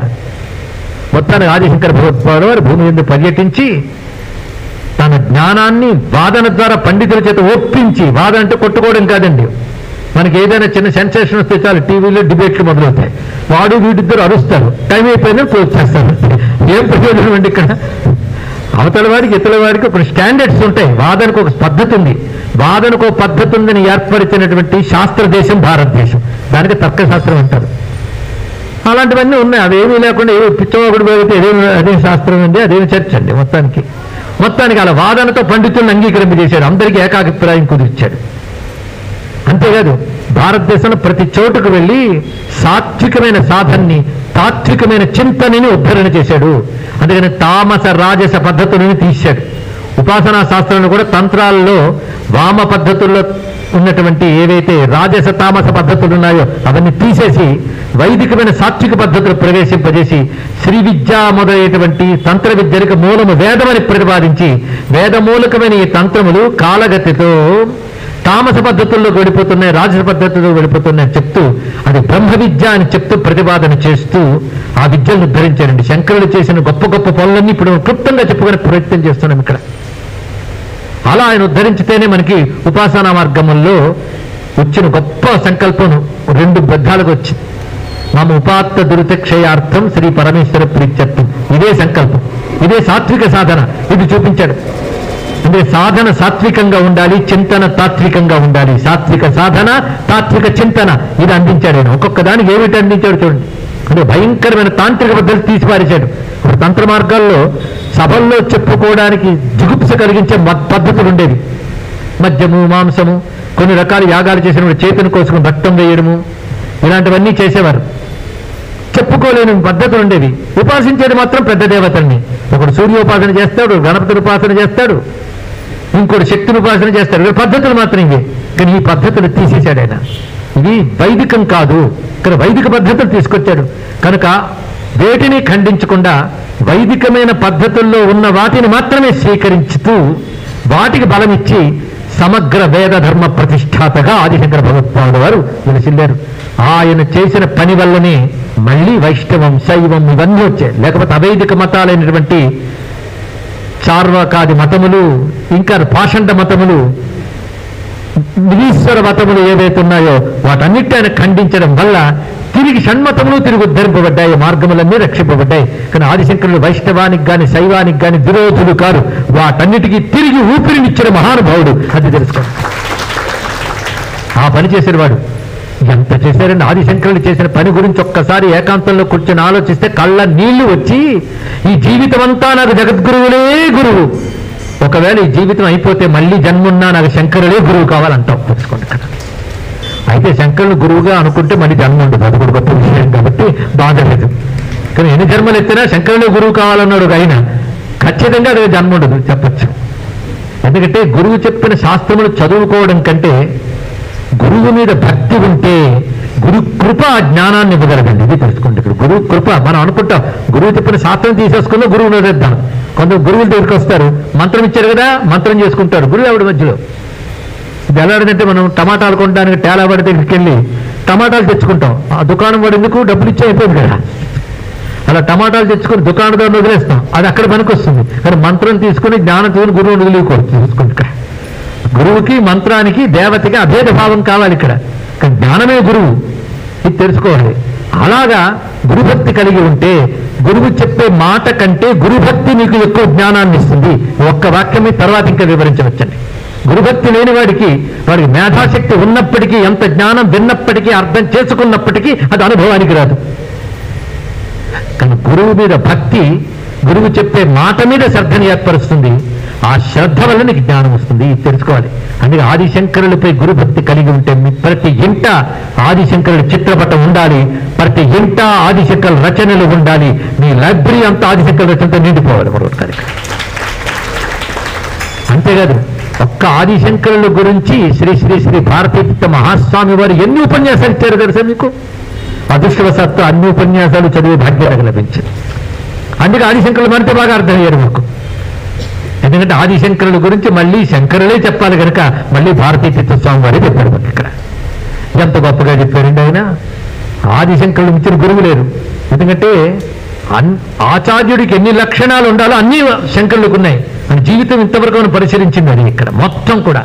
తాను ఏ ఉపాధిలో ఏ ఆశ్రమంలో ఉన్నాడో దానికి న్యాయం చేయాలి. ధర్మాన్ని తూచా తప్పకుండా పాటించాలి. అందులో ఆదిశంకరులు ప్రధానం. అదే కరుణ అనసూయ ఇలాంటి ఆత్మగుణములు ఉండాలి. అవన్నీ ఆదిశంకరులు ఎక్కడెక్కడ అలా చూపించారో చెప్పారు భారతీయ స్వామి వారు ఏ గుణము ఎక్కడ చూపించారో చెప్పారండి ఇక్కడ ఎలాగైతే రాముడు దివ్య గుణాలని చరిత్రలో చూస్తాము శాస్త్రము చెప్పిన వేదాంతి బ్రహ్మజ్ఞాని యొక్క లక్షణాలు ఆదిశంకరుల చరిత్రలో చూస్తాం. అది గొప్ప విషయం ఇక్కడ అది ఎలా కనబడతాయో చెప్పారైనా అందుకే ఆదిశంకరుని ఇంట్లో మనం చిత్రపటం పెట్టుకున్నది ఎందుకు చిత్రపటం అంటే స్మరించడం కోసం. ఆయన గ్రంథం ఈ రోజు నేను ఆదిశంకరుల వాంగ్మయం చదవకుండా పడుకోను ఒట్టి పెట్టుకోవాలండి మనం. ఆదిశంకరుల గ్రంథం ఏదైనా ఒక శ్లోకమైన చదివి పడుకోండి అర్థం చే వివేచన చేయండి అప్పుడు ఈ జన్మలోనే తరిస్తాం అందులో సందేహం లేదు. అలా ఆదిశంకరుల యొక్క కృషి ముప్పై రెండేళ్ళు చేస్తూ ఆయన ఇంకో పని చేశాడు. ఎన్ని చెప్పినా ప్రతి ఆలయం తిరిగాడు ఇంచుమించు అంటే శాస్త్రం చెప్పిన మహాక్షేత్రములన్నీ తిరిగాడు. తిరిగి అక్కడున్నటువంటి దివ్యశక్తిని ఆయన ఉజ్వలితం చేశాడు. మాట జాగ్రత్తగా చెప్పు. శక్తిని ప్రతిష్ఠించాడని నేను అనలేదు. క్షేత్రమునందు శక్తి సహజంగా ఉంటుంది. అంటే నిప్పుని నివురు కప్పితే ఉప్పు నువ్వు జ్వాల తెచ్చినట్లుగా కలిదోషాల చేత క్షేత్రముల ఎందు దేవాలయములందు శక్తి ఆ విధంగా కప్పబడిపోయినప్పుడు ఆదిశంకరుడు తన పాద స్పర్శ చేత తన హస్త స్పర్శ చేత తాను అక్కడ ప్రారంభించిన ఆరాధన పద్ధతుల చేత అక్కడ శక్తిని మరింత ప్రజ్వలితం చేసి భారతదేశంలో అన్ని క్షేత్రాలని శక్తివంతం చేసిన వారు ఆదిశంకరుడు. ఈ వాక్యం కూడా గుర్తుపెట్టుకుంటారు ఎక్కడి నుంచి ఎక్కడి వరకు? ఏం చెప్తా? ఆసేతు సీతాచలం. ఎక్కడి కాలడి ఎక్కడికి ఆధారం? అని తిరగని చోటు ఏది? ప్రతి చోట ఆయన ఆ శక్తిని ఉజ్వలితం చేశాడు. ఎన్ని రకాలుగా ఉపకరించాడు చూడండి మహానుభావుడు. ఇదేది గమనించకుండా అద్వైత మత ప్రతిష్టాపన చేసిన ఒక్క మాటతో చెప్పేస్తే అపచారం చేసిన వాళ్ళమవుతాం ఎంత ఉద్ధరించాడండి ఆయన. మన క్షేత్రాలకు శక్తినిచ్చాడు. శాస్త్రాల యొక్క అసలు శక్తిని తీసుకొచ్చాడు. ఇంత ప్రశ్న చేసి ఈ భారతదేశం మొత్తం రక్షింపబడాలంటే సనాతన ధర్మం వల్ల రక్షింపబడుతుంది. కానీ రాబోతున్నది కలియుగం. కేవలం పుస్తకాలతో రచించితే లాభం లేదు. బోధన చేస్తే లాభం లేదు. దీన్ని అట్టి పెట్టి కట్టి పెట్టి ప్రతిష్ఠ చేసి ఎప్పటికప్పుడు నాలుగు మూలల నుంచి దేశానికి అందించాలి అని సంకల్పించుకుని నాలుగు మూలల్లో నాలుగు పీఠాలు పెట్టాడు ఇది మహానుభావుడు. ఆ పెట్టేటప్పుడు కూడా సనాతన ధర్మానికి మూలం వేదమే. అదే అందరూ ఒప్పుకున్న. ముందు మాట అదే కదా చెప్పుకున్నది. వేదం నాలుగు చతురామ్నాయములు. కనుక నాలుగు ఆమ్నాయములు. ఆమ్నాయం అంటే వేదం. ఎందుకు ఆ పేరే పెట్టారు? చతుర్వేద పీఠములు అనొచ్చుగా. నిగమ పీఠములు అనొచ్చుగా శృతి పీఠములు అనొచ్చుగా ఆమ్నాయములు ఎందుకన్నానంటే ఆమ్నాయం అంటే మాటి మాటికి వల్లి వేయబడేది అని అర్థం ఇక్కడ. కనుక దీని వదిలేయకుండా మాటి మాటికి వల్లి వేయవలసింది వేదము కనుక దానికి ఆమ్నాయమైన పేరు. అది తీసుకున్నాను. చతురామ్నాయ పీఠం. జ్ఞానం ఎప్పటికప్పుడు ఎప్పటికప్పుడు వల్ల వేసుకుంటూ వెళ్ళాలి ఇక్కడ. అది చతురామ్నాయ పీఠములు నాలుగు వేదములు. నాలుగు దిక్కులు ఎంచుకున్నాడు. నాలుగు దిక్కుల్లో వేదముల్లో సారమునుకుని లాగాడు ఋగ్వేదంలో ఐతరీయ ఉపనిషత్తులు ఉన్న వాక్యాన్ని తీసుకున్నారు ప్రజ్ఞానం బ్రహ్మ అది మహావాక్యం అంటారు ఇక్కడ. ఈ మహావాక్యంతో ఒక పీఠం పెట్టారు. రెండవది ఉన్నదే యజుర్వేదంలో బృహదారణ్యకోపనిషత్తులు వాక్యం తీసుకున్నారు. అహం బ్రహ్మాస్మి. దాని తర్వాత వాక్యం చాందోగ్యోపనిషత్తు సామవేదంలోది అక్కడ నుంచి తత్వమసి అన్నారు ఇక్కడ. ఇక ఆ తర్వాత అథర్వవేదంలో మాండుక్యోపనిషత్తులు వాక్యం తీసుకున్నారు. అయమాత్మ బ్రహ్మ. అయం ఆత్మ బ్రహ్మ. అక్కడికి వచ్చినప్పుడు స్వరూప నిరూపణం అయిపోయింది ఇక్కడ. అయమాత్మ బ్రహ్మ. కనుకనే ఇక్కడ చెప్పేటప్పుడు ఎన్ని రకాలుగా ఒక ఉపదేశ వాక్యం ఉంది ఒక అనుభవ వాక్యం ఉంది అదేవిధంగా తత్వ ప్రతిపాదకమైన వాక్యం ఉన్నది చిట్ట చివరికి అనుసంధాన వాక్యం కూడా ఉంది. ఇన్ని రకాలుగా నాలుగు మహావాక్యములు అంటారు వీటిని మహావాక్యములు అంటారు. ఒక్కొక్క వాక్యం ఒక్కొక్క వేదంలోనూ ఒక్కొక్క ఉపనిషత్తు నుంచి తీసుకున్నారు ఇక్కడ. ఋగ్వేదంలో ఐతరేయ ఉపనిషత్తు నుంచి ఒక వాక్యం. అది ఉన్నదే. శంకరులకు ముందే ఉంది. మహావాక్యోపదేశం అని సన్యాసాశ్రమంలో ఉన్నదే. అది ఒక్కరు గుర్తుపెట్టుకోవాలి. శంకరులు కొత్తది ప్రతిష్ఠించలేదు. ఎవరైనా కొత్తది తీసుకొచ్చారంటే కొంపలు ముంచాడు. తెలుసుకోండి ఇక్కడ. కొత్త మతాలు ఏముండవు. సనాతనమే ఎప్పుడు ఉంటుంది. కానీ సనాతనాన్నే ప్రతిష్ఠ చేయాలి. అందుకే రాముడు వచ్చాడంటే కొత్త ధర్మం తేలేదు. ఉన్న సనాతన ధర్మాన్ని ఉద్ధరించాడు. అందుకే ఆయన అవతారమూర్తి అయ్యాడు. ఆయన మనకు ఆరాధ్యుడయ్యాడు కృష్ణుడు వచ్చాడు అంటే వేదేశ్చ సర్వయ రహమేవ విద్యా అని చెప్పి ఆ వేద ధర్మాన్ని ప్రశ్న చేశాడు కనుక కృష్ణుడు మనకి ఆరాధ్యుడయ్యాడు అదేవిధంగా శంకరుడు మనకు ఆరాధ్యుడయ్యాడు ఇక్కడ. అందుకని నాలుగు వాక్యములు శంకరుడు తీసుకురాలే. శంకరులకు పూర్వమే ఉన్నటువంటిది అది ఈ నాలుగు మహావాక్యాలు నాలుగు వేదముల సారములు. కనుక నాలుగు వేదములకు నాలుగు మహావాక్యములకు ప్రతీకలుగా నాలుగు దిక్కుల్లో భారతదేశానికి నాలుగు పీఠాలు పెట్టారు ఇక్కడ. అందుకు తూర్పున వచ్చేటప్పటికల్లా పురిలో గోవర్ధన పీఠాన్ని ప్రతిష్ఠ చేసి అక్కడ ఋగ్వేద స్వరూపంగా ప్రతిష్ఠ చేసి యజుర్వేద స్వరూపం అనుభవవాక్యం ఎంత గొప్పదో అది. ఆ అనుభవవాక్యమే అహం బ్రహ్మాస్మి. అంతే కదా? నేను బ్రహ్మమని ఉన్నాను. గురువు అదే నువ్వయ్యున్నావు అని ఉపదేశిస్తాడు. అదే నువ్వయ్యున్నావు అన్నాక మనం అదే నువ్వయ్యున్నావు అనకూడదు. అది నేనై ఉన్నాను అని అవును కదండి? నీకు బుద్ధి ఉందా గురుగారు అంటే మళ్ళీ అదే అప్పచెప్పకూడదు గురుగారికి అదే నువ్వై ఉన్నావని అంటే అది నేనయ్యున్నానని నీకు తెలియాలి. అది తావలని తిప్పి తెలియదు. విచారణతో అనుభవానికి రావాలి. అందుకు ఉపదేశ వాక్యం అనుభవ వాక్యం పెట్టింది ఈ అనుభవ వాక్యమే పీఠంగా ఎదురువేద పీఠంగా ఎదురామరాయ పీఠముగా ఆవిర్భవించినదే శృంగేరి శృంగగిరి. తర్వాత రెండు కూడాను బదరి ఉత్తరానికి వస్తే పశ్చిమానికి ద్వారక. ఈ నాలుగు పీఠములు ప్రతిష్ఠ చేశారు ఆదిశంకర భగవత్పాదులు వారు. ఎంత గొప్ప ప్రతిష్ఠ అంటే ఎన్ని వందల ఏళ్ళ సంవత్సరం సంవత్సరాల క్రితం అండి ఆయన చేసిన పని.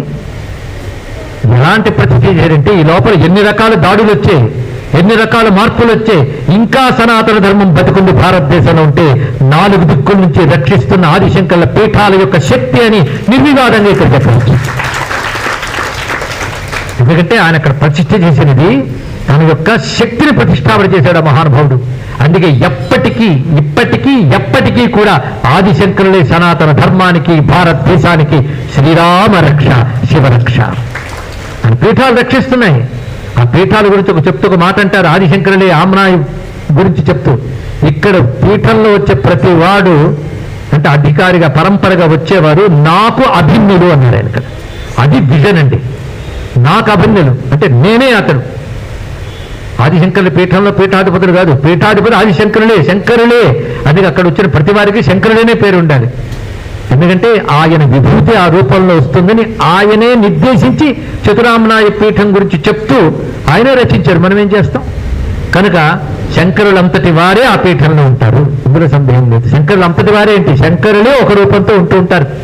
ఇలా వస్తారని చెప్పాడు. పైగా అలాంటి పీఠాల్లో ఉన్న ఆచార్యులకు ఉండవలసిన అర్హతలు కూడా ఆయన తెలియజేశాడు. మనం ఒక్కసారి పీఠాచార్యుల పూర్వ చరిత్రలు చూస్తే లేదా పూర్వాచార్యుల చరిత్రలు చూస్తే ఆ లక్షణాలన్నీ ఉన్నాయని తెలుస్తుంది. అస్మత్ పీఠే సమారూఢ పరివ్రాడుక్త లక్షణ అహమేవేతి విజ్ఞేయ యస్య దేవ ఇతి శృతే. ఆదిశంకర్లు ఏమి చెప్పినా ఆయనకు చాదస్తూ ఉందండి. వేదవాక్య ప్రమాణం లేకపోతే ఒక్క మాట చెప్పాను ఆదిశంకర్ ఇది గొప్పతనం.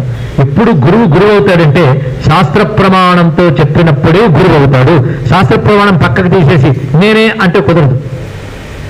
నేను మాటల సందర్భంలోనే భారతీయ తిత్తుల వారి మహిమను కూడా ప్రతిపాదన చేస్తాను ఒకసారి భారతీయ తిత్తుల వారి వద్దకు వచ్చినప్పుడు ఒక మాట అన్నారు ఆయన.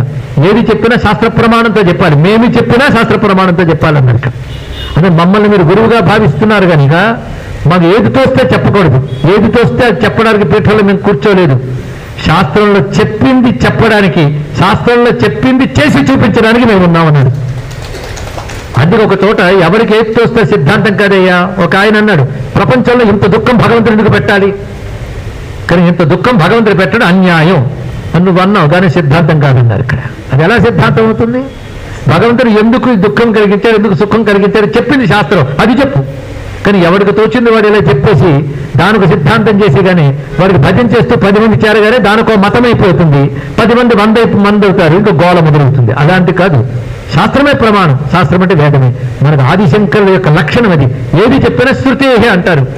వేద ప్రమాణంతో చెప్తున్నాను.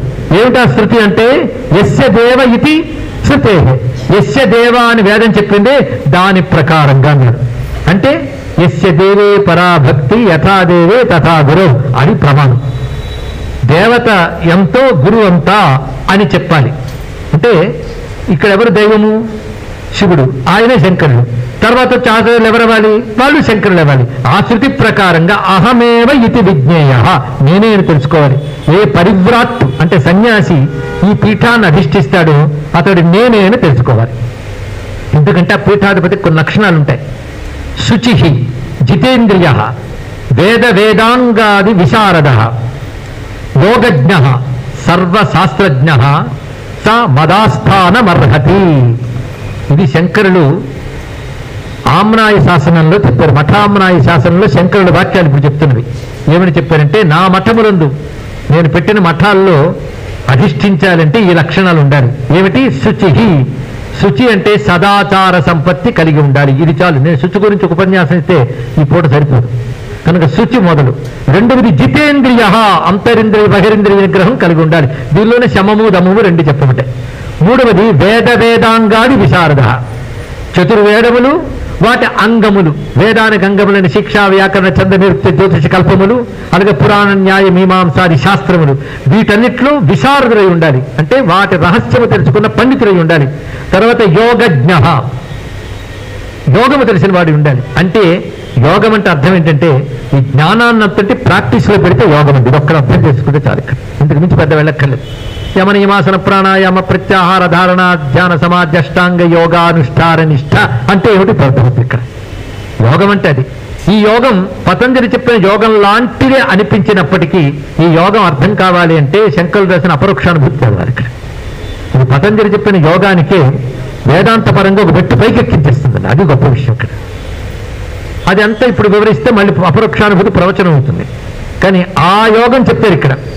అంటే ఈ చెప్పిన వేదా వేదాంగాది శాస్త్రసారమైన అద్వైత జ్ఞానాన్ని సాధనలోకి తెచ్చుకుంటే యోగం. అది తెలిసిన వాడి ఉండాలి. కనుక ఇప్పుడు ఎన్ని లక్షణాలు అయ్యే? నాలుగు. ఐదవది సర్వశాస్త్రజ్ఞ వేద వేదాంగాది చెప్పాక మళ్ళీ సర్వశాస్త్రం అని ఎందుకు చెప్పారంటే వేదము వేదాంగం అంటే ఇందాక చెప్పుకున్నాం. అవును వేదానికి సంబంధించినవి. అదేవిధంగా అనేక శాస్త్రములు ఉన్నాయి. అవి మంత్రశాస్త్రాదులు కూడా ఉంటాయి. ధర్మశాస్త్రాలు ఉన్నాయి. మరి శంకర పీఠాల్లో శృంగేరి ఎందు పన్నెండవ పీఠాధిపతి అయినటువంటి విద్యారణుల వారు పరాశర స్మృతికి భాష్యం రచించారు. పరాశర స్మృతి అంటే ధర్మశాస్త్రమే. అంటే ధర్మశాస్త్రం కూడా తెలిసిందా లేదా చూడండి ఇక్కడ.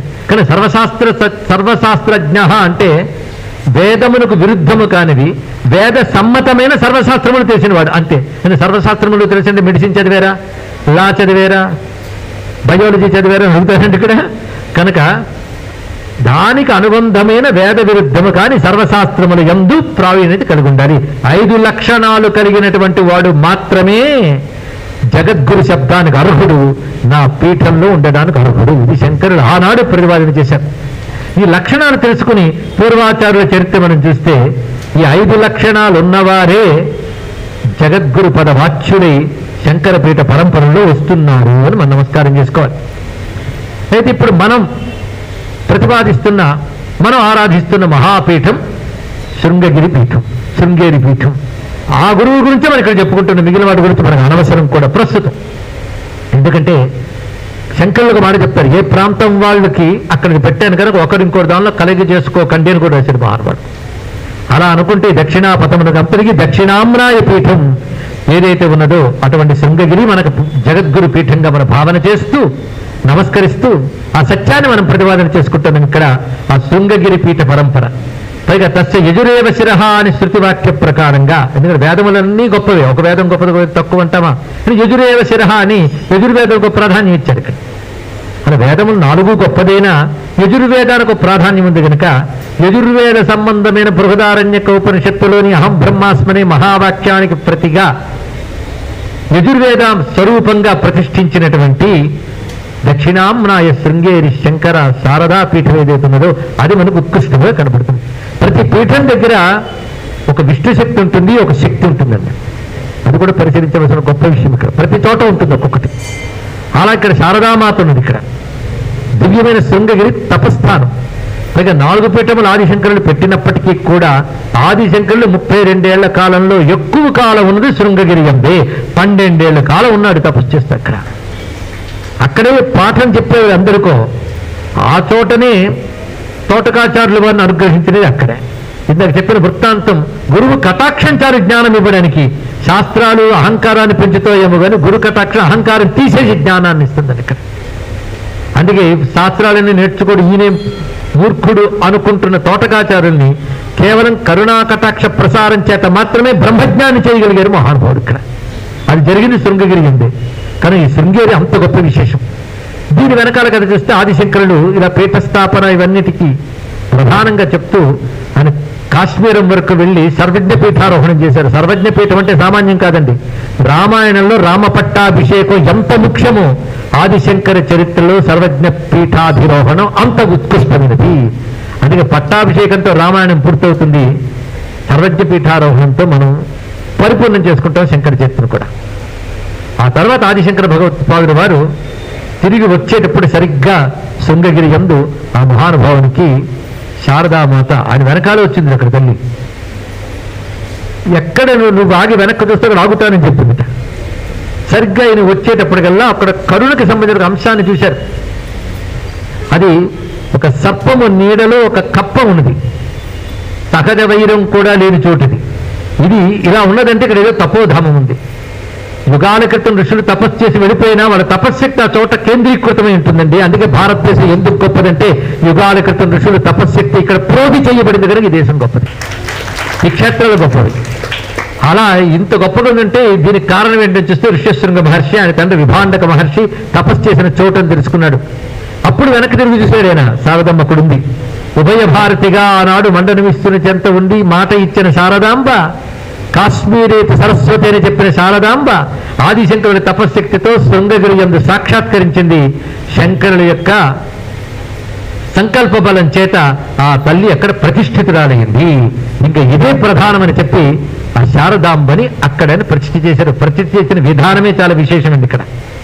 పైగా తాను అప్పుడు కైలాసం నుంచి తీసుకువచ్చిన ఒకనొక స్ఫటికలింగం చంద్రమౌళీశ్వర లింగం అక్కడే ఆరాధన చేస్తూ అమ్మవారు ప్రతిష్ఠ చేశారు. ఒకనొక చందనపు చెక్కతో చేసిన విగ్రహంగా అమ్మవారిని మలచి తాను స్వయంగా రాతిపై శ్రీచక్రాన్ని లిఖించి ప్రతిష్ఠ చేశాడు. అంటే అక్కడ ప్రతిష్ఠింపబడ్డ తల్లి ఎవరు? శ్రీచక్రాధిదేవత శ్రీచక్రాధిదేవత అంటే ఎవరు? ముగురమ్మల్లో ఒకరు కాదు ముగురమ్ములో ఒక్కటైన పరాశక్తి.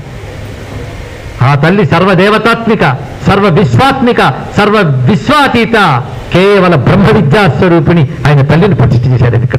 అది శారదాంబ. అంటే కేవలం ముగురమ్మల్లో ఒకరు కాదు ముగురమ్మలో ఒకరైన తల్లి.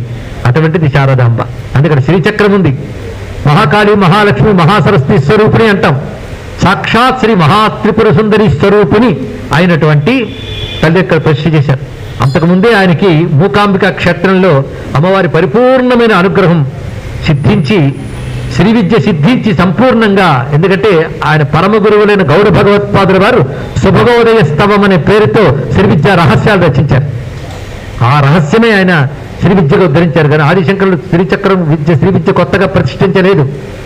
సనక సనందనాథుడు సుభాగం పంచకంలో ఏదైతే చెప్పారో ఆ శ్రీ విద్యని గౌడ భగవత్పాదుల వారు ప్రతిపాదన చేశారు. అది సమయాచార పద్ధతిలో ఉన్న శ్రీ విద్య దాన్ని ప్రతిష్ఠించిన మహానుభావులు గౌడ భగవత్పాదులు మొదలైన వారు. దానినే ఆదిశంకరులు కూడా ప్రశ్న చేశారు. కనుకనే సత్సంప్రదాయానికి చెందిన వారందరూ కూడా వారు గురు పరంపరలో ఆదిశంకర భగవత్పాదుల వారిని శ్రీ విద్యలో ప్రధానంగా చెప్తారు. అయితే ఉపాసనకి శ్రీ విద్య ఎందుకు చెప్పారంటే బ్రహ్మ విద్యను చెప్పిన మహానుభావుడు ఉపాసనా విద్యను ఎందుకు చెప్పారంటే బ్రహ్మ విద్యయే ఉపాసన ప్రక్రియలో శ్రీ విద్య అనిపించుకుంటుంది. కానీ శ్రీ విద్యకి బ్రహ్మ విద్యకి భేదం లేదు. కానీ శ్రీ విద్యను కేవలం అభీష్టాలు నెరవేర్చేటువంటి ఒకానొక తంత్రము మనం అనుకుంటే ఆదిశంకర సంప్రదాయం ఒప్పుకోదు. శ్రీ విద్య బ్రహ్మ విద్య అది ప్రతిపాదన చేశారు మహానుభావుడు. అది ఆత్మవిద్య మహావిద్య శ్రీ విద్య కామసేవిత అది బ్రహ్మ విద్యను ప్రతిపాదన చేశారు. అందుకే తమ పరమ గురువులు శుభగోదయస్తవం రచించారు శిఖరిణి ఛందస్సులో. అదే ఛందస్సులో తీసుకుని ఆ గురువుల హృదయానికి వ్యాఖ్యానమా అన్నట్టు సౌందర్యగారిని అనుగ్రహించారు మహానుభావుడు. అంతేకాదు మూకాంబిక క్షేత్రం వద్దనే అమ్మవారిపై చతుర్శక్తి ఉపచార మానసిక పూజా స్తోత్రం రచించారండి ఇక్కడ. అరవై నాలుగు ఉపచారాలు అద్భుతంగా రచించారు ఆయన. అలాంటి మహానుభావుడు ఎన్ని చోట్ల భారతదేశంలో శ్రీచక్ర ప్రతిష్టాపన చేశాడు? ఆయన అష్టోత్తర శతనామాల్లోనూ మీకు కనబడుతుంటాయి. అలా అనేక చోట్ల ప్రతిష్టాపన చేశారు. ఆ శ్రీచక్రం వల్ల దివ్యశక్తి జాగృతమై అక్కడ రక్షించింది. ఆయన స్వయంగా ఇక్కడ శ్రీచక్రం తాను లిఖించాడు. అది గొప్ప విషయం. అయితే సాధారణంగా అలాంటి ప్రతిష్ఠ చేయాలంటే చాలా కల్పం ఉంది. చాలా ప్రక్రియ చేయాలి. అదే దేశమంతా తిరిగి ఇలా ప్రతిష్ఠ చేయాలంటే ఆ ప్రక్రియలు చేస్తూ ఉంటే సరిపోదు. అది సామాన్యుల విషయంలో మహాత్ముల స్పర్శ మాత్రం చేతనే శక్తిని తీసుకురాగలరు. అది ఆదిశంకరుని యొక్క గొప్పతనం అంటే అనగా శృంగగిరి ఎందు శారదామాత ప్రతిష్ఠింపబడింది. ఈ సమయంలోనే అక్కడున్న శ్రీచక్రం అంటే ఏంటో తెలుసుకున్నాం. అమ్మవారు సాక్షాత్ మహాత్రిపుర సుందరి అని బ్రహ్మ విద్యాదేవత అని. అంతేకాదు మీ లలితా శాస్త్రంలో స్వతంత్ర సర్వతంత్రేసి దక్షిణామూర్తి రూపిణి అన్నారు. దక్షిణామూర్తి అంటే ఎవరండి? శివుడు. దక్షిణామూర్తే ఆదిశంకరుడు అని విద్యారణుల వారే రచించారు కదండి. ముక్వా మౌనం వటవిటపినో మూలతో నిష్పతంతి శంభోర్మూర్తి చరతభువనే శంకరాచార్య రూప అన్నారు ఇక్కడ. ఆయన నాలుగు చేతులు ఎవరికి? దక్షిణామూర్తి. నాలుగు చేతులు. కింద రెండు చేతులతో మాత్రం పుస్తకం చిరుముద్ర పట్టుకున్నాడు. పైన రెండు చేతులు అప్పుడప్పుడు మారుతూ ఉంటాయి ఒక చేతిలో అగ్ని ఒక చేతిలో డమరకం ఒక రూపంలో. ఇంకో చేతిలో అమృత కలశం ఇది బాగా గుర్తుపెట్టుకోండి. ఒక చేతిలో అమృత కలశం ఒక చేతిలో అక్షమాల పైన ఉంటాయి.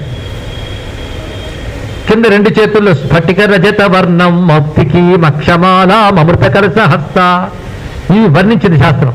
ఇది దక్షిణామూర్తి స్వరూపం. పైన పుస్తకము ఇది స్ఫటికమాల తర్వాత అమృత కలశం పట్టుకున్నాడు. కింద రెండు చేతులు చిన్ముద్ర పుస్తకం పట్టుకున్నాడు.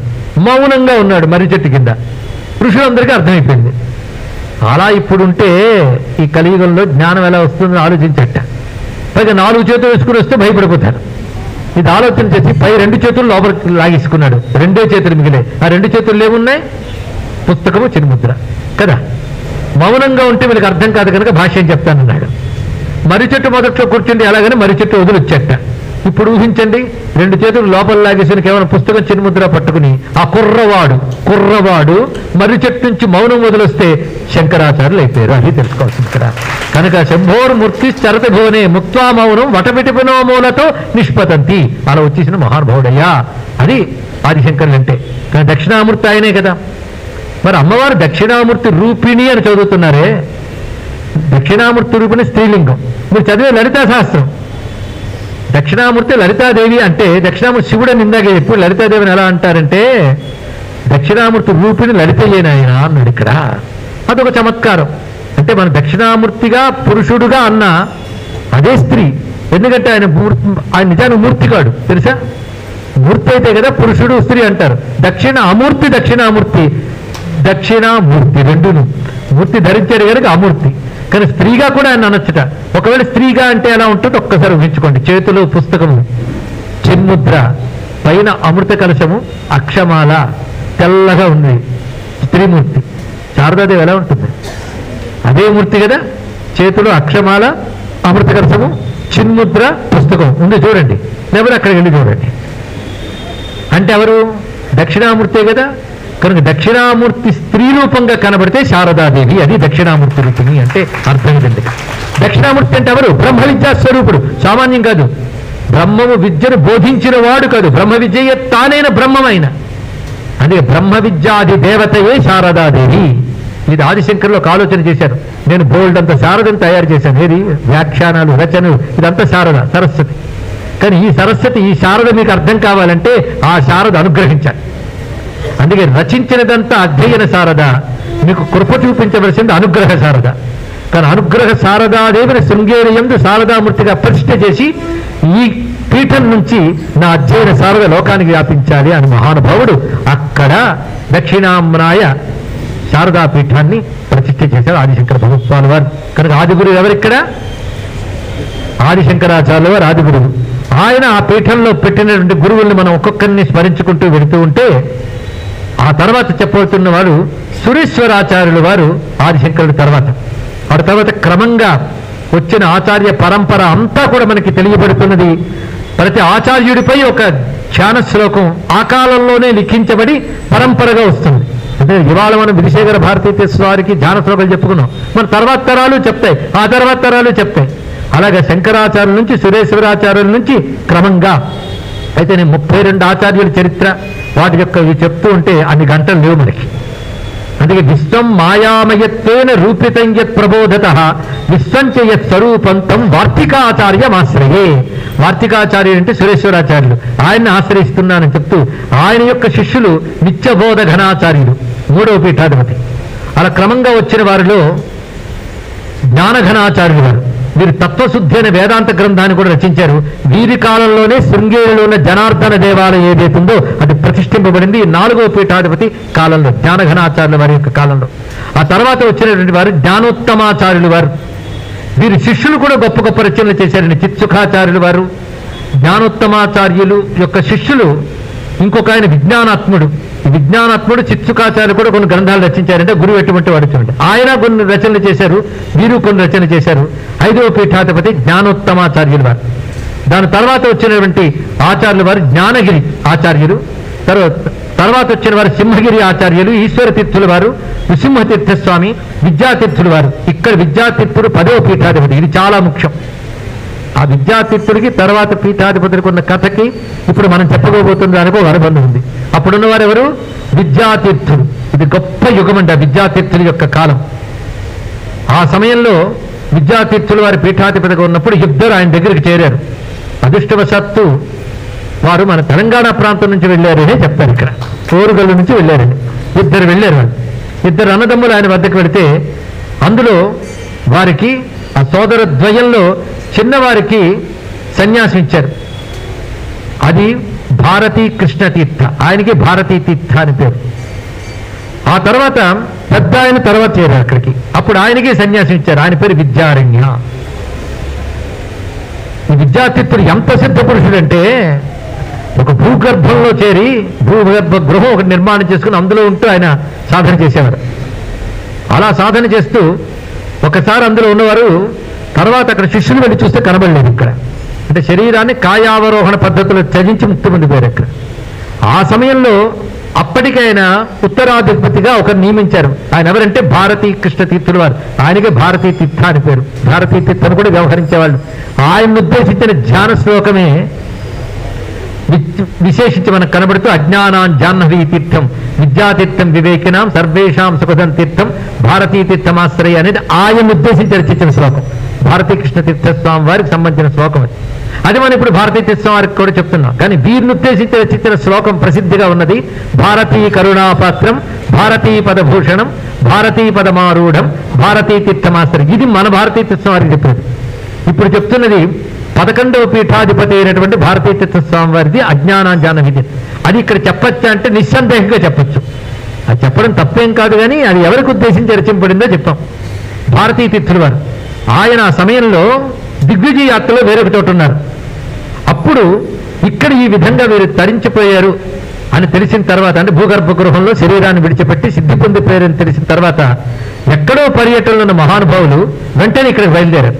అయితే బయలుదేరే లోపల ఆయన స్వప్నంలో సాక్షాత్కరించేట ఇక్కడ సిద్ధి పొందిపోయిన సిద్ధపురుషుడు భారతీ తీర్థస్వామి వారికి స్వప్నంలో సాక్షాత్కరించి జరిగిన దానికి విచారించుకొని చెప్పొచ్చింది ఇక్కడ. తర్వాత ఆయన ఇక్కడ బయలుదేరి వచ్చి గురువుని సిద్ధి పొందిన చోట అప్పుడు ఒక అత్యద్భుతమైనటువంటి దేవాలయాన్ని నిర్మాణం చేశారు. అదే మనం ఇప్పుడు దర్శిస్తున్న విద్యాశంకర ఆలయం. ఇప్పటికి ఉంది అక్కడ. అది చారిత్రకంగా కొన్ని వేల ఏళ్ళ క్రితం నాటిది వందల ఏళ్ళ క్రితం నాటిది అని చెప్పచ్చు. అంత గొప్ప ఆలయం అక్కడ ఉన్నది ఇక్కడ. ఆ ఆలయం అమరశిల్పి జక్కన్ అంటారే ఆ జక్కన్ని పిలిపించి నిర్మాణం చేశారు. చూసారా చారిత్రకంగా చూసిన అంటే మీరు ఆధ్యాత్మికంగా చూసిన చారిత్రకంగా చూసిన దేశం యొక్క గొప్పతనం ప్రకారంగా చూసిన సంస్కృతి ప్రకారంగా చూసిన అన్ని విధాల గొప్ప పీఠం శృంగేరి. గుర్తుపెట్టుకోవాలి చారిత్రకంగా ఎంత ప్రశస్తి? అలాంటి ఆలయం ఎక్కడ కనబడదు. అమరశిల్పి జక్కన్ సామాన్యుడు కాడు అందులో విద్యాశంకర ఆలయమే శ్రీచక్రాకారంతో ఉంటుంది. నవాభరణలతో ఉంటుంది. అనేక దేవతామూర్తులు ఉంటాయి ప్రతి స్తంభాన్ని వెనకాల ఒక శాస్త్రం ఉంటుంది. మేషాది రాసులన్నీ అక్కడ స్తంభాల రూపంలో ఉంటాయి. పైగా అద్భుతమైన శిల్పకళా సౌందర్యం.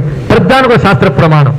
అంత అత్యద్భుతమైన ఆలయ నిర్మాణం చేసి అక్కడ గురువులకి ఒక సన్నిధానం ఏర్పాటు చేశారు మహానుభావుడు ఇక్కడ. ఆ విధంగా పీఠం ఏర్పడింది ఇక్కడ. ఇది మనం తెలుసుకుంటున్న అద్భుతమైన విషయం ఇక్కడ. అంటే ఇది చరిత్ర. భారతీయ తీర్థల వారు నిర్మాణం చేసిన విద్యాశంకర మందిరం. ఇక్కడ నుంచి మనం నమస్కారం చేసుకుందాం. అక్కడ దివ్యశక్తి ఉంటుంది. ఆ తర్వాత భారతీయ తీర్థుల వారి ఉత్తరాధికారి కనుక ఆయనే పీఠాధికారిగా ఉన్నారు. తర్వాత భారతీకృష్ణ తీర్థుల వారు తన శరీరం త్యజించిన తర్వాత పీఠాధిపతికి వచ్చిన వారు ఆయన అన్నగారైన విద్యారణ్య వారు పీఠాధిపతికి వచ్చారు. పన్నెండవ పీఠాధిపతి. ఆయన పీఠాధిపతి కాకముందే కాశీనగరంలో తపస్సును ఆచరించి ఎందరినో తరింపు చేశాడు. ఆయన చరిత్ర అద్భుతం. తిరిగి ఆయన వచ్చి హంపి వద్ద ఉన్నటువంటి క్షేత్రంలో ఆ పర్వతంపై తపస్సు చేశారు విరూపాక్ష సన్నిధిలో. ఆ సమయంలోనే ఆయన వద్దకు ఒక ఇద్దరు వస్తే అది కూడా అన్యమతంలోకి మారిపోయినటువంటి ఒక హిందువులు ఇద్దరు వస్తే వాళ్ళని పెట్టి అద్భుతమైన హిందూ సామ్రాజ్య స్థాపన చేసిన మహానుభావుడు భారతీయులు ప్రతిరోజు నిత్యం తలంచి నమస్కరించవలసిన మహాపురుషులండి విద్యారణ్య స్వామి వారు ఆ ఇద్దరు హరిహర రాయలు బుక్కరాయలు వాళ్ళిద్దరిని ఆయన సంస్కరించి తిరిగి సనాతన ధర్మంలోకి తీసుకొచ్చాడు. అంటే సనాతన ధర్మానికి చెందిన వాళ్ళు ఏదో గ్రహపాటునో పొరపాటునో బలవంతంగానే ఇతర ధర్మాల్లోకి మారితే తిరిగి వాళ్ళని తీసుకురావాలని చెప్పిన మరో శంకరాచార్యుడు వారు ఇక్కడ అయితే శంకరాచార్య కాలంలో భారతదేశంలో వచ్చినటువంటి అవేదిక మతాలని మాత్రమే ఆయన ఖండించుకుంటూ వెళ్ళారు అప్పుడు భారతదేశంలో.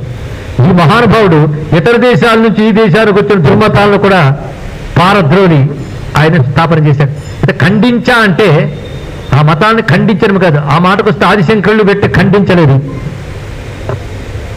సూర్యుడు వస్తే చీకటి ఖండింపబడదు చీకటి కనబడదు. తెలుసుకోండి ఇక్కడ. కనుక సత్యప్రతిపాదన ముందు అవన్నీ పోతాయి. అందుకే అంతకుముందు ఖండించిన వాళ్ళు కుమారుల భట్టు మొదలైన వారు ఖండన చేశారు. ఆదిశంకరులు సత్య ప్రతిపాదన చేశారు. అది చాలా విశేషం. అందుకే విద్యాలయుల వారు తత్పూర్వ మతాన్ని ఖండించలేదు ఈ దేశంలోకి వచ్చేసిన ఇతర మతాన్ని ఖండించలేదు అని కొందరు అంటారు కానీ ఆయన ప్రతిపాదించిన సర్వదర్శన సమన్వయం మొదలైనటువంటి గ్రంథములు సామాన్యములు కావు. వాటన్నిటి తీర్మానించింది వేద మతమే పరిపూర్ణ మతము వేదాంత మతమే పరమార్థ మతము ఇది చెప్పారండి. ఎవరు? విద్యారణ్యుల వారు. ఆ విద్యారణ్యుల వారు ఇక్కడికి పీఠానికి రాకముందే ఎంతో చేశారు. అక్కడ తపస్విగా ఉన్నప్పుడే విద్యానగర సామ్రాజ్య స్థాపన చేశాడు మరో ఇక్కడ. పైగా నగర సామ్రాజ్యం చేయాలంటే ధనం ఉండాలా? అప్పుడు ఆయన భువనేశ్వరి ఉపాసనతో శంకరులు తర్వాత మళ్ళీ కనకధార కురిపించిన మహానుభావుడు విద్యారణులు వారు. కానీ శంకరుడు తర్వాత శంకరుడే. నూట ఇరవై ఆరేళ్ళు జీవించాడు. వేదం చెప్పిన పూర్ణాయువు. అంటే ముప్పై రెండేళ్ళు ఉండి వెళ్ళిపోయాను. లాభం లేదని నూట ఇరవై ఏళ్ళు ఉంటాను అనుకుని వచ్చిన శంకరులే విచారణ వారు ఇక్కడ ఆయన చేసిన కృషి ఆయన చేసినటువంటి పరిధానం అంతా ఇంత కాదు. మొత్తం చతుర్వేదములకు భాష్యం రచించాడు. పరాశర మాధవీయమని పరాశర స్మృతికి భాష్యం రచించారు ఆయన. కలువ పరాశర స్మృతి కనుక దానికి భాష్యం రచించారు. అంతేకాదు ధాతువృత్తి జైమినీయ న్యాయమాల శంకర విజయం రచించింది ఆ మహానుభావుడే. అంతేకాదు ఆయన కాలంలో భారతదేశ సంగీతంలో అనేక రకాల పద్ధతులు తీసుకువచ్చి తను పీఠాధిపతిగా అయిన తర్వాత వాళ్ళందరినీ అక్కడ కూర్చోబెట్టి ఆ సంప్రదాయములన్నీ మేళవించి సంగీతపరమైన గ్రంథం రచించాడు. అది కర్ణాటక పీఠం కనుక అక్కడ ఏర్పడిన సంప్రదాయ పద్ధతి మనం నేటికి కర్ణాటక సంగీతం అంటున్నాం. విద్యార్థుల వాళ్ళ వల్ల వచ్చిందండి ఆ పేరు. ఈ చరిత్ర మనకు తెలియదు కర్ణాటక హిందుస్థాన్ పేరు అంటాం కానీ ఆ సంప్రదాయం ఏర్పరిచిన వారు మహానుభావుడు. కనుక మన చరిత్ర ప్రకారంగా చూసిన సంస్కృతి ప్రకారంగా చూసిన విద్యార్థులు వారు లేకపోతే భారతీయ సంస్కృతి లేదు. ఇది తెలుసుకోండి వేదాంతానికి భాష్యం రచించారు శంకరులు. వేదమునంతరికీ భాష్యం రచించాడు ఈ మహానుభావుడు. చతుర్వేదములకు భాష్యం రచించిన మహానుభావుడు. ఈయన కాలంలో జరిగిన అద్భుతాలు చాలా చాలా ఉన్నాయి. అంతేకాదు నువ్వు నియమించే కనుక మేము రాజులయ్యాం. నువ్వు ఉపాసనా బలంతో కురిపించిన సంపదతో విద్యానగర సామ్రాజ్యం నిర్మాణం చేశాం. మేమెంతయ్యా? నీ చేత నియమింపబడ్డ వాళ్ళం ఏం అద్భుతం అండి ఒక బ్రహ్మ తేజస్సు త్యాగబుద్ధితో రాజ్యం ఏర్పాటు చేసింది.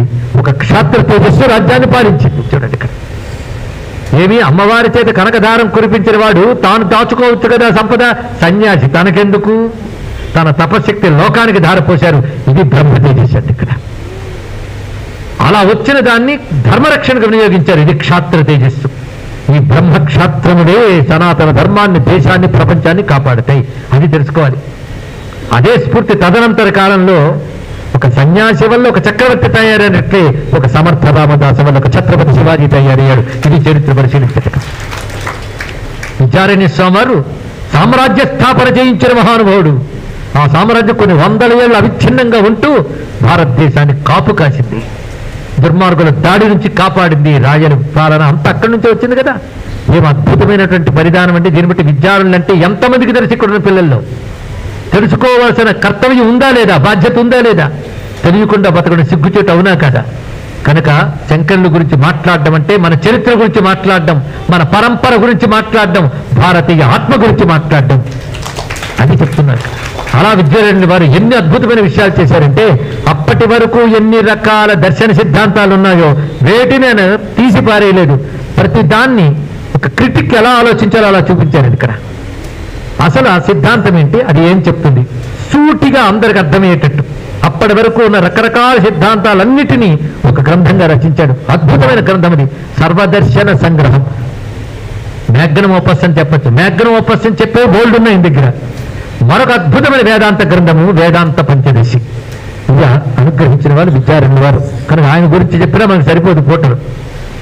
వారి తర్వాత విద్యారణ్య తర్వాత వచ్చినటువంటి మహానుభావులు పరంపరలో ఆయన పన్నెండవ పీఠాధిపతి అయితే వారి తర్వాత వచ్చిన వారు ప్రథమ చంద్రశేఖర భారతీ స్వామి వారు ఇంకా క్రమంగా తర్వాత నృసింహ భారతి పురుషోత్తమ భారతి ఇలాంటి బహువిధ సన్ని సంప్రదాయంలో ఉన్న వాళ్ళందరూ వస్తూ వస్తూ క్రమంగా మనం నమస్కరించుకుంటూ ఉన్నాం ఇక్కడ.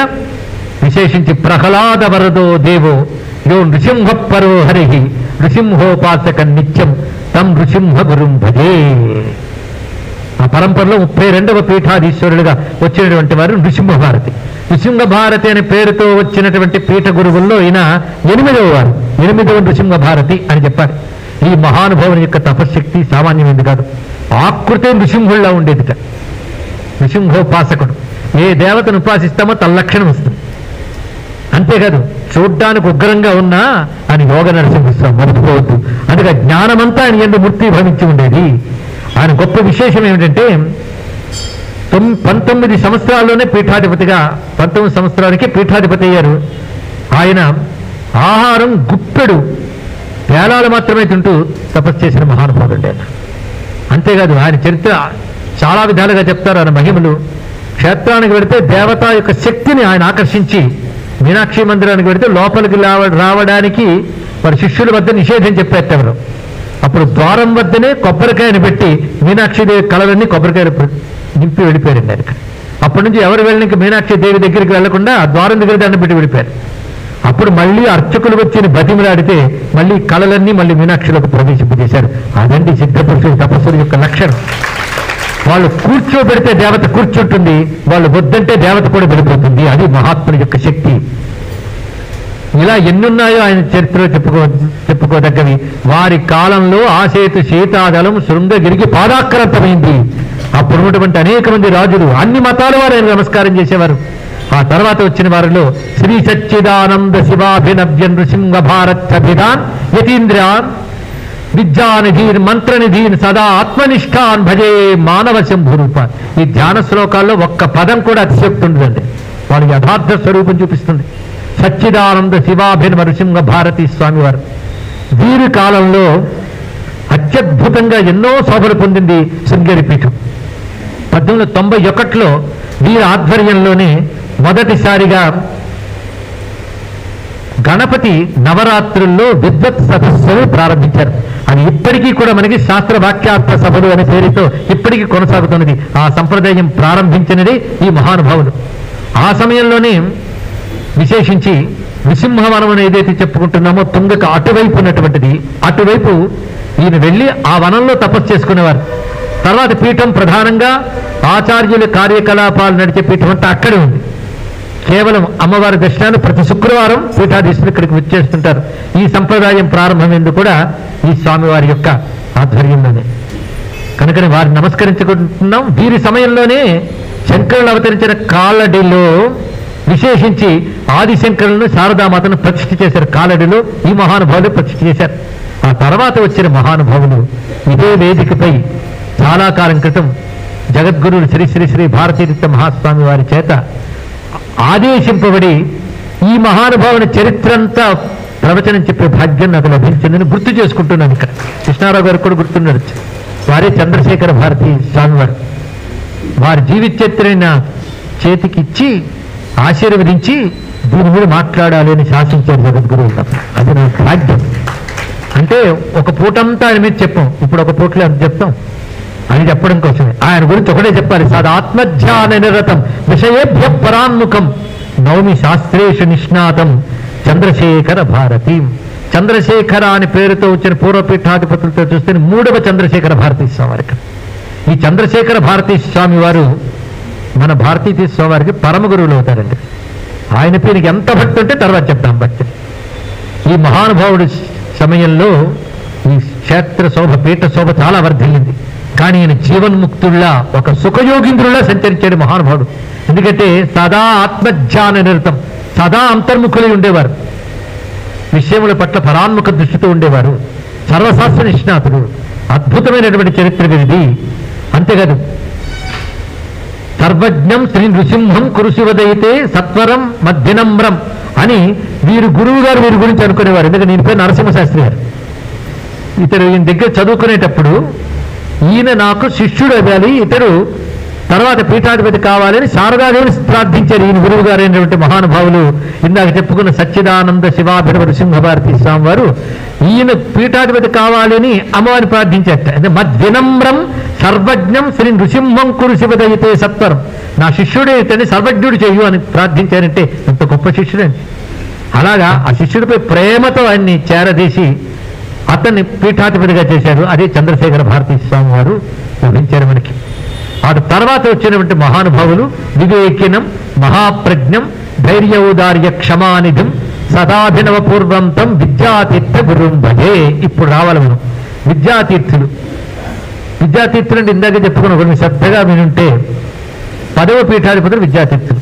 ఆయన తర్వాత వారు భారతీక్ష తీర్థులు. ఆయన తర్వాత విద్యానంద వారు కదా?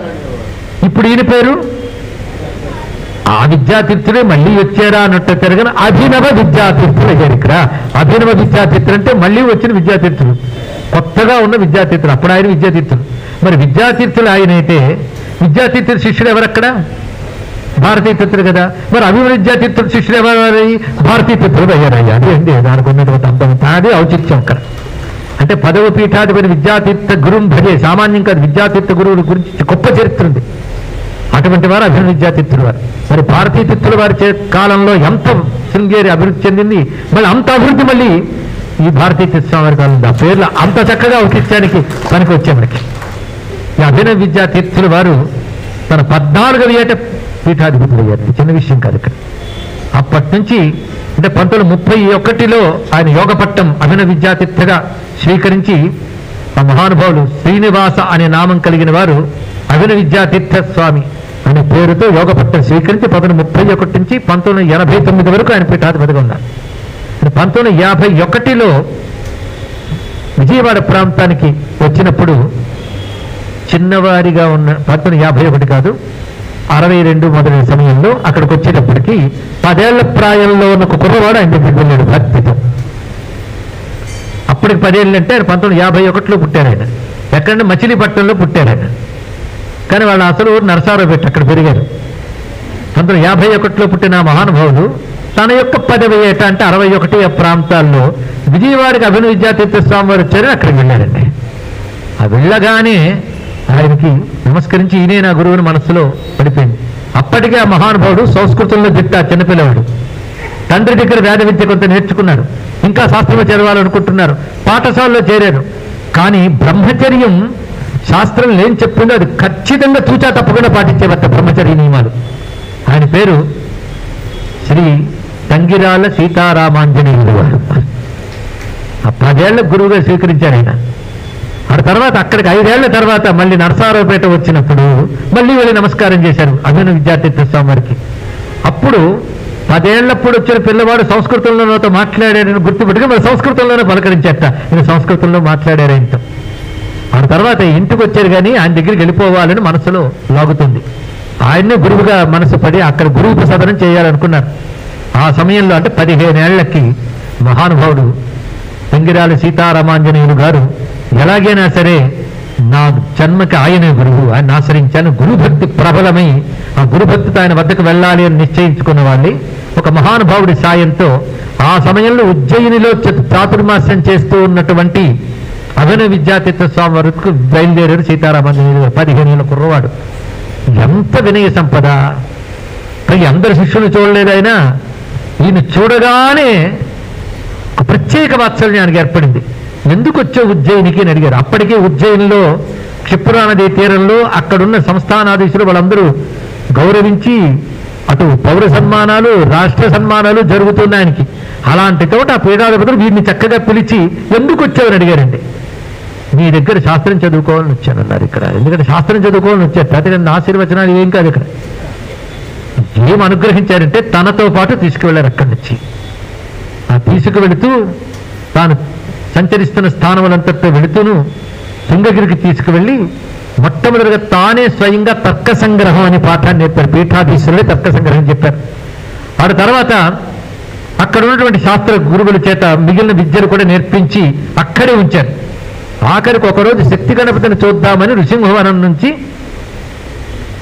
అమ్మవారి మందిరం వైపు తిరిగి వచ్చి మళ్ళీ తిరిగి వెళితే ఎందుకు దాటి వెళ్ళు నువ్వు ఇక్కడ నుంచి దాటకుండా ఇక్కడే ఉండాలి అన్నారు. అంటే తనకు అనుసంధానంలోనే ఉండాలి అని అంటే తీర్చిదిద్దదలుచుకున్నారు ఈయనే తర్వాత ఈ పీఠాన్ని అధిష్ఠించే మహానుభావుడని ఆయనకి తెలుసు. ఆ కారణం చేత నువ్వు ఇక్కడే ఉండాలి అని చెప్పి తనకు అనుసంధానంలోనే సర్వశాస్త్రం అధ్యయనం చేయించారు.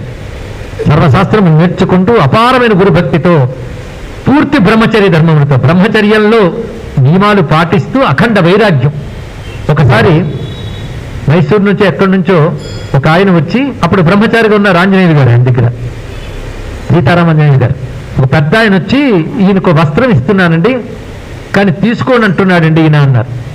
వెంటనే అభినవ విద్యాతీర్థ స్వామిని పిలిచి వాళ్ళు వస్త్రం ఇస్తున్నారు. తీసుకోవా? అంటే నాకు ఇప్పటికే చాలా ఉన్నాయండి అందుకే వద్దన్నారు ఉంటని ఇది వాళ్ళు భక్తిగా ఇస్తున్నారు కదా తీసుకో అంటే దీన్ని జరి ఉందండి. ఈ జరీవి నేను కట్టనండి అన్నారు ఇక్కడ. వైరాగ్యం అంటే ఏమిటో అనేది ఇక్కడ తెలుసుకోవాలండి. పూర్తిగా బ్రహ్మచర్య ధర్మాల్లో భోగ వాంఛ అనేది ఉండకూడదు. అంటే ఇది చాలా బాగుంది కదా ఇది వేసుకుంటానని కాదు ఇక్కడ. అంటే విద్యయే ప్రధానం గురువే ప్రధానం. అలా ఉన్నారు. అలా తీర్చిదిద్దబడ్డ ఒకనొక కారణజన్ముడు. అంటే శంకరపీఠంలో రాబోయేదానికి ఒక శంకర విభూతి వెతుక్కుంటూ అక్కడ వస్తుంది. శంకర విభూతిని శంకరుడే గుర్తించగలరు కనుక పీఠాధిపతిగా ఉన్న శంకరుడే శంకర విభూతిని గుర్తించి తిరిగి తనక ఉత్తరాధికారిగా నియమిస్తాడు. ఇది నియమం తెలుసుకోవాలి. అంతేగాని వాళ్ళ యొక్క దృక్కోణం మనకు అర్థం కాదు. వాళ్ళ ఆలోచన శారదాంబ ఆలోచనే. అక్కడ పూజింపబడుతున్న శారదకి ఉపదేశిస్తున్న ఆచార్యుడికి భేదము లేదు. అక్కడ ఆలయంలో స్థిరచార శారద ఉన్నది. పీఠంలో చరసారథ ఉన్నది అంటే ఇక్కడ భేదం లేదు ఉభయునికి అందుకే ఆ మహానుభావులు ఈయనను పీఠాధిపతిగా నియమించారు. అది కూడా పంతొమ్మిది డెబ్బై నాలుగు నవంబర్ పదకొండవ తేదీన ఆనందనామ సంవత్సరం ఆశ్వయుజ బహుళ ద్వాదశి అంటే ఇప్పటికి పదిహేను రోజులు ఇంకా ఉంది. నాడు భారతీ తీర్థ అనే దీక్షానామాన్ని ఇచ్చి ఆ సన్యాస పట్టంతో జగద్గురువులుగా ప్రతిష్ఠ చేశారు. అంటే ఇప్పటికి యాభై ఏళ్ళు అయిందండి అదే మనం స్వర్ణ భారత్ జరుపుకుంటున్నాం. భారతీయ తీర్థ వారు సన్యాస పీఠాన్ని అధిరోహించి యాభై ఏళ్ళయింది. ఆయన యొక్క వయస్సు డెబ్బై నాలుగు ఏళ్ళు. అంతే కదండి? దీన్ని బట్టి మనం పరిశీలిస్తే ఆ మహానుభావులు మనకు వరంగా లభించి ఇప్పటికీ ఆశీర్వదిస్తున్నారు. అదే భారతదేశం గొప్పతనం అంటే ఏమిటి అంటే మన చరిత్రలో పురాణాల్లో చదువుకున్న భగవద్ విభూతి ఎప్పటికప్పుడు ఈ దేశంలో సజీవంగా కనబడుతూనే ఉంటుంది. అదే భారతీయ చిత్త మహాస్వామి రూపంలో జీవన్ముక్తులు ఇక్కడున్నారా ఇప్పుడున్నారా అంటే ఎంతకన్నా వెతుకుతాం. చిన్నగా వెళ్ళి శృంగేరిలో భారతీయ తీర్థ స్వామిని చూడండి చాలు. జీవన్ముక్తులు అంటే ఒకటి చెప్తారు. చంద్రశేఖర భారతీ స్వామిని ఎలా ఉండేవారో తెలియాలి అంటే ప్రస్తుతం భారతీ తీర్థ స్వామిని చూస్తే తెలిసిపోతుంది ఇక్కడ. ఆ సదాత్మ ధ్యాన్నిరతం విషయేభ్య పరాన్ముఖం నవమి శాస్త్రేషు నిష్ణాతం అలా ఉన్నారు. మాకు గురుతుల్యులు పెద్దలు శృంగేరికి అత్యంత ప్రీతిపాత్రులైన అంతేవాసులైన పెద్దవారు నాతో మాట చెప్పారు. భారతీతీర్థ మహాస్వామి వారు ఉత్తరాధికారిని నియమించిన తర్వాత ఇప్పుడు వెళ్ళి చూస్తే ఆయన పరిస్థితి ఎలా ఉన్నదంటే అప్పటి చంద్రశేఖర భారతీ స్వామిని మేము చూసాం అలా ఉన్నారని చెప్పారు. ఆ చెప్పిన పెద్దలు బ్రహ్మశ్రీ ముదుగొండ శంకర శర్మ గారు వారిని స్మరించుకుంటున్నారు అంటే మరి చంద్రశేఖర భారతీ స్వామి ఎలా ఉన్నారో ఆ జీవన్ముక్త అవస్థలోనే. ఆయన అంతకు ముందు కూడా జీవన్ముక్తులే కానీ పీఠాధిపతిగా పీఠ వ్యవహారాలు నడుపుతూ ఉంటారు. ఆ నడిపేటప్పుడు ఎంత గొప్ప విషయం అంటే ఇక్కడున్న పిల్లలు తెలుసుకోవాలండి. అనేక కంపెనీలు పెద్ద పెద్ద ఫ్యాక్టరీలు సంస్థలు ఆర్గనైజేషన్స్ నడిపిన వాళ్ళు ఇంత ఇంతకాలం నడిపే అంతకాలం నడిపేమంటారు. ఒక వందేళ్ళు నడిస్తే చాలు సెలబ్రేషన్స్. వందల ఏళ్ళు నడిచిన పీఠాలు నిలబడ్డాయి. దానికి ఏం చెప్తారు చెప్పండి. ఈ సక్సెస్ స్టోరీ ఏమిటి? ఒక ఆయన భారతదేశంలో పుట్టి విదేశాల్లో బాగా పేరు పొందిన ఒక ఆయన ఒకసారి మేనేజ్మెంట్ స్కిల్స్ మీద బిజినెస్ మేనేజ్మెంట్ మీద అద్భుతమైన బుక్స్ రాసి దాని మీద అక్కడ అమెరికాలో ఉపన్యాసాలు ఇస్తే అమెరికాలో పెద్ద పెద్ద బిజినెస్ మ్యాగ్నెట్స్ ఆశ్చర్యపోయిన బిరుగులు ఇచ్చారు. ఆయన శృంగేరి భక్తుడు. తిన్నగా వచ్చి స్వామివారి దగ్గరకు వచ్చి తాను ఏవేవి కొత్త కొత్తగా కనిపెట్టాడు సూత్రములు ఇవన్నీ కూడా స్వామివారి దగ్గర తీరుకు దొరికితే చెప్దాం అనుకుని వచ్చేస్తాడు. వచ్చి స్వామివారు ఉండవయ్యా మాట్లాడదామన్నారు ఈ లోపల అక్కడ జరుగుతున్న తీరు మొత్తం పరిశీలించారు. ఎలాగ పరిపాలింపబడుతోంది మన శృంగేరి? శంకరపీఠను పరిశీలిస్తే తాను ఏవేవైతే గొప్ప పాయింట్స్ అక్కడ చెప్పాడో అవన్నీ అక్కడ అమలవుతూ కనిపిస్తున్నాయట. ఆశ్చర్యపోయింది. ఇదంతా కూడా ఆయన చెప్దాం అనుకున్నాడు కానీ ఆయన చెప్పలేదు. ఇవన్నీ చూడగానే కానీ అర్థమైంది. స్వామివారి దగ్గరికి వచ్చేటప్పటికల్లా స్వామివారు మాట్లాడుతూ కొన్ని సంస్కృత శ్లోకాలు చదివేస్తాడు ఆ శ్లోకములన్నీ పూర్వశాస్త్రములు ఉన్నవి. ఆ శ్లోకాలన్నీ అడ్మినిస్ట్రేషన్ ఎలా ఉండాలో చెప్పే శ్లోకములు అన్నీ కూడా. అంటే నువ్వు కొత్తగా చెప్పిన సిద్ధాంతాలు ఏవి ఉన్నాయో అవన్నీ ఇదివరకు ఋషులు ఎప్పుడో చెప్పారు నాయన. నువ్వు చెప్పనివి కూడా వాళ్ళు చెప్పారు. ఇది అడ్మినిస్ట్రేషన్ అంటే. అదే భారతీయ సంస్కృతిలో ఆత్మజ్ఞానం అంటే అన్ని విడిచిపెట్టడం కాదు. జ్ఞానంతో అన్నిటినీ నిభాయించడం. ఇది తెలుసుకోండి ఇక్కడ. అన్నిటి అంత చక్కగా నిర్వహించగలడు. లేకపోతే జీవన్ముక్తులై సర్వసంగ పరిత్యాగులై ఆత్మ అంటే ఏంటో తెలిసి అనాత్మను పూర్తిగా పరిత్యజించిన స్థితి ఎవరికైతే సిద్ధిస్తుందో వాడు లోకంలోనే మామూలుగా మసలడే అలాంటి ఒక పీఠం పెట్టుకుని దాని లెక్కాజమా చూసుకుంటూ ఎక్కడ తేడా లేకుండా నడపాలి అంటే సర్వసంగ పరిత్యాగి సాధ్యమవుతుందా? అప్పుడు అర్థమవుతుంది. వేదాంత జ్ఞానం ఉంటేనే యుద్ధం చేయాలి కనుక జ్ఞానంతో యుద్ధం చేయని కృష్ణ పరమాత్మ అర్జునుడికి ఎందుకు చెప్పాడు అర్థమవుతుంది. అక్కడ అందుక ఆ ఆత్మజ్ఞానం కలవాడే అద్భుతంగా నిర్వహించగలడు. ఎందుకంటే దేని మీద మోహం ఉండదు కనుక దేనితో సంఘం ఉండదు కనుక రాగద్వేషాలు ఉండవు. రాగద్వేషాలు ఇప్పుడు ఉండవలసింది అంటే వ్యవహారంలో ధర్మం ఉండాలి. పరమార్థంలో జ్ఞానం ఉండాలి. కానీ బుద్ధిని జ్ఞానంలో నిలిపి వ్యవహారంలో ధర్మం దశకకుండా చూడడం అనే ఒకనొక అద్భుతమైన పీఠాధిపత్య ధర్మాన్ని అత్యద్భుతంగా నిర్వహించిన మహానుభావుడు భారతీయ మహాస్వామి. వారు ఇది తెలుసుకోవాల్సిన గొప్ప చరిత్ర అండి. ఆయన చేసిన బోధలు ఆయన యొక్క మహిమలు ఎన్నెన్ని చెప్పేది అవి గ్రంథాలు గ్రంథాలుగా ఉంటాయి. చిన్న చిన్న మాటల్లోనే వారిచ్చిన సందేశాల్లో మునిపే ఇందాక ఎన్నో చెప్పుకున్నాం. ఒక ఆయన వెళ్ళి గురుగారు నేను జీవితంలో అనుకున్నవని సాధించేశానని అన్నట్టు అలా మాట్లాడుతాను గురువుల దగ్గర. అన్నీ సాధించాను అచీవుడు ఏమిటయ్యా సాధించావు? అంటే నా కర్తవ్యాలన్నీ నెరవేర్చేశాను అన్నాడు. ఇది మాట. నా కర్తవ్యాలన్నీ నెరవేర్చేశాను అన్నాడు. అవునా? ఏమిటది అన్నాడు ఏ ఏ కర్తవ్యాలు నెరవేర్చేవో చెప్పన్నారు. గోల్డ్ అంత డబ్బు సంపాదించానండి. అబ్బా! చాలా సంతోషం. తర్వాత పతక్యం ఆ సంపాదనలో కొంత నా భార్య పేరుని దాచిపెట్టేశాను తర్వాత మా పిల్లల పేర్లు కూడా దాచిపెట్టాను. తర్వాత మా బంధువులకి వాళ్ళకి కూడా వసతులు అవన్నీ ఏర్పాటు చేశాను. తర్వాత ఇంకేం చేయాలండి నేను? అన్నాడు అయిపోయింది. ఇదే నా కర్తవ్యం అన్నాడు. ప్రతి వాళ్ళు ఈ టార్గెట్స్తోనే జీవితం గడుపుతారా లేదా? కానీ ఇప్పుడు ఇస్తున్న మెసేజ్ సమస్త సమాజానికి సమస్త మానవులకి ప్రతి వ్యక్తికి గురుగారు చెప్తున్నారు. తర్వాత ఏంటి? ఇంకేం చేయాలండి నేను? నేను చేయవలసింది ఇంకేముందన్నాడు అంటే ఇంతవరకు బంధువుల కోసం భార్యా పిల్లల కోసం దాచిపెట్టే సంగతి చెప్పాం ఇంతేనా? అంటే అవునండి. మరి మీకోసం ఏం చేశారు? ఆ నా కోసం కూడా కొంత దాచిపెట్టాను నీకోసం ఏం దాచిపెట్టావు? అంటే ఇంతవరకు ధనాన్ని కూడబెట్టడమే జీవిత పరమార్థం అనేది నీ మాటలు బట్టి తేలింది. కానీ ఇదంతా విడిచిపెట్టి పోతావు అది తెలుసుకో ఇక్కడ. ఇదేది నీ వెంట రాదు. నీ వెంట వచ్చే ధర్మమే. అదంతా సంపాదించావు అదంతా కూడబెట్టావు అది అందరికి పంచావు. ఇప్పుడు చెప్పన్నారు ఇది తెలుసుకోవాల్సిన గొప్ప విషయం. ఎంత అందంగా చెప్పారు ఉపదేశం అంటే ఇది. అంతేగాని వచ్చిన వాడికి అనుకూలంగా చెప్పేది ఉపదేశం కాదు. వాడు బాగుపడ్డాడని చెప్పాలి. నిష్ఠురంగా ఉన్నా అలా చెప్పాలండి. అది గొప్ప గొప్ప బోధ. ఆ విధంగా ఉంటుంది. ఒక ఆయన వెళ్ళి అడిగట్ట ఏమండి కొత్త కొత్త మతాలు వస్తున్నాయి. కొత్త కొత్త వ్యాప వ్యాపకాలు వస్తున్నాయి. సనాతన ధర్మం దెబ్బతింటేనేమో అని భయం వేస్తుంది. పాశ్చాత్య సంస్కృతి వైపు నుంచి వచ్చేస్తుంది. పరాయి దేశాల మతాలు వచ్చి వ్యాపించిపోతున్నాయి. సనాతన ధర్మం ఏమైపోతుందో అని భయం వస్తుంది. అయితే సనాతన ధర్మంలో ఒక ధర్మం నేను చెప్తాను. ఆ ధర్మం మించి ఏదైనా ఆ మతం చెప్పగలదా చెప్పు అన్నారు. అది సత్యం వద ధర్మం చదా ఇది సనాధర్మం చెప్తుంది కదా. దీన్ని మించి ఏ కొత్త మతమైనా కొత్త మాట చెప్పిందా చెప్పు అన్నారు. చెప్పలేదండి అటువంటిప్పుడు ఏది గొప్పదంటో సనాధర్మమే అందుకే ఇది ఎప్పుడు రచించి తెలుసుకోవాలని చెప్పారు. అద్భుతమైన బోధ చేశారు ఇక్కడ. ఎన్ని విషయాలు ఇలాగా? అంతేకాదు అదన విద్యాతీర్థులు వారు చెప్పిన మాట చెప్పేవారైనా కన్నడుగుడైనా తమిళుడైనా తెలుగువాడైనా మరాఠావాడైనా ఉత్తరాది వాడైనా హిమాలయాల్లో ఉన్నవాడైనా అందరూ భారతీయులే. భారతదేశం ఒక్కటే ఇది మాట అది దేశభక్తి అంటే అంతేకాదు భారతీయ తిత్తుల వారు కాలంలో భారతదేశంలో ఎప్పుడెప్పుడు దేశ దేశానికి ప్రమాదం ఏర్పడిన సమయంలో పీఠం తరపున ఆయన ఇచ్చిన సహాయాలు చాలా ఉన్న ఒక కార్గిల్ యుద్ధానికి కానీ మరొక సమయంలో కానీ పీఠం తరపున ఎంత చేశారు? మొన్నటికి మొన్న కేరళలో భయంకరమైనటువంటి మత మార్పిడులు వంచనలు చేస్తున్న వాళ్ళని ఎదుర్కొంటూ హర్షధర్మాన్ని కోసం తప్పించిపోతున్న ఒక సంస్థకి విజయశేఖర భారతి వారు స్వయంగా యాభై లక్షల రూపాయలు నగదుని సహాయంగా ఇచ్చారు. ఇలాంటివి ఎన్ని చేస్తున్నారు సేవా కార్యక్రమాలు? కొందరు అంటూ ఉంటారు పీఠాధిపతులు ఏం చేస్తున్నారని. మీకేం తెలుసు? వాళ్ళు ప్రచారాలు చేయక్కర్లేదు. వాళ్ళ ధర్మం దేశాన్ని కాపాడుతుంది. వాళ్ళు కదలకుండానే దేశాన్ని కాపాడగలరు. వాళ్ళ తపస్సు కాపాడుతుంది. వాళ్ళు చేస్తున్న అనుష్ఠాన బలం కాపాడుతుంది. లేకపోతే అంతటా బ్రహ్మమని తెలిసి ఆ బ్రహ్మముతో అభిన్నులైన మహానుభావులు వేళ కల్లా కూర్చొని చంద్రమౌళీశ్వరుడికి అభిషేకం చేయవలసిన అవసరం ఏమున్నది? లోకక్షేమం కోసం. వాళ్ళు చేసిన తపస్సు వాళ్ళు చేస్తున్న శృంగగిరిలో సాగుతున్నటువంటి కైంకర్యములు శారదామ్మకి జరుగుతున్న అర్చనలు శ్రీచక్రానికి జగద్గురు స్వయంగా చేస్తున్న అర్చనలు చంద్రమౌళీశ్వరుడికి చేసే ఆరాధనలు ఇవి భారతదేశాన్ని రక్షిస్తున్నాయి. కనుక మన నిర్వాకాలే వీకవు కాపాడుతున్నాయి. కనుక పీఠముల శక్తి కాపాడుతుంది తెలుసుకో. పైగా పీఠములనే దుర్గమ్మని వినాయకుడు మన హనుమంతుణ్ణి భైరవుణ్ణి కాళీదేవిని నాలుగు దిక్కుల్లో ఆనాడే ఆదిశంకరుడు ప్రతిష్ఠ చేసిన రక్షణగా. ఎంత మంత్రశాస్త్ర నిపుణుడో ఆదిశంకరుడు చూసుకోండి.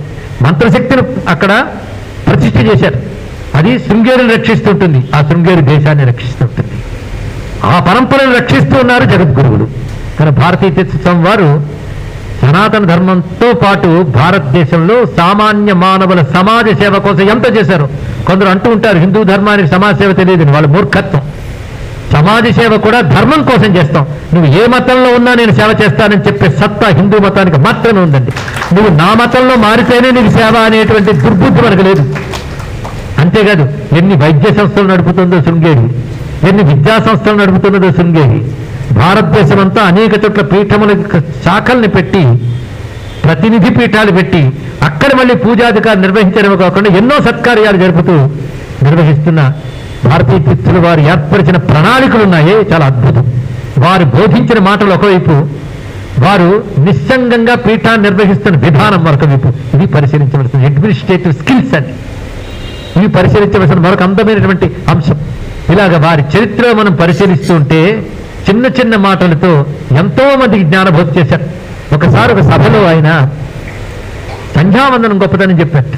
అదంతా అయిపోయిన తర్వాత అక్కడికి వచ్చి పెద్దవాళ్ళు కొంతమంది వచ్చి మీరు వచ్చారంటే ఏదో అహం బ్రహ్మాస్మి వేదాంత విద్య జ్ఞానము చెప్తారనుకుంటే మీరు సంధ్యావందనం అంటే కర్మల గురించి ఎందుకు చెప్పారండి అంటే నాకే తెలుసో చెప్పడానికి రాలేదు వారికి ఏం కావాలో చెప్పడానికి వచ్చాను చెప్పారు. ఎందుకంటే అధికారుని అనుసరించి చెప్పాలి. అందుకని తనకు బ్రహ్మ విద్య వచ్చని చెప్పి అనుజులు బ్రహ్మ విద్యనా? మరి ధర్మం వైపు ప్రేరణ చేయించాలి. అందుకే ఎంతో మంది ధర్మం వైపు ప్రేరణ చేయించారు. మరి ఒక్క ప్రవచనం రోజుకి విన్నా మన బ్రతుకు తరించిపోతుందండి. అది భారతీయ తీర్థం అని తెలుసుకోండి కనుక ఈ రోజు నేను భారతీయ తీర్థస్వామి వారి వచనం విన్ విననది నిద్రపోను అని పెట్టుకుంటే ప్రతి వచనంలో ఒక ప్రబోధం మనకు లభిస్తుంది. నేను స్వయంగా చూసిన ఒకనొక సంఘటన స్వామివారి దగ్గరికి వెళ్ళినప్పుడు ఒక ఆమె ఒక భక్తిగా కూర్చున్నది. తర్వాత ఆమె గురించి అంటే కొన్ని కోట్ల ఆస్తికి ఆవిడ అధికారిని. విదేశాల్లో అనేక కంపెనీలకు అధికారి ఆవిడ పార్థిస్వామి వారు దగ్గర భక్తుల్లో ఒకరిగా కూర్చొని నమస్కరించుకుంటున్నారు. అపురూపంగా చూస్తూ గురువు గారిని చూస్తూ ధ్యానిస్తున్నది. ఆవిడ గురించి ఒక నాకు చెప్పిన విషయం ఏంటంటే ఇప్పుడు విదేశాల్లో ఉన్నప్పుడు వాళ్ళ ఆయనకి భయంకరమైన అనారోగ్యం వచ్చింది. ఆసుపత్రిలో పెట్టారు. అయితే ఇంకా చికిత్స కూడా లొంగదు ప్రాణాలు పోతాయనే చెప్పారు. ఆ సమయంలో నన్ను ఎవరు కాపాడుతారు?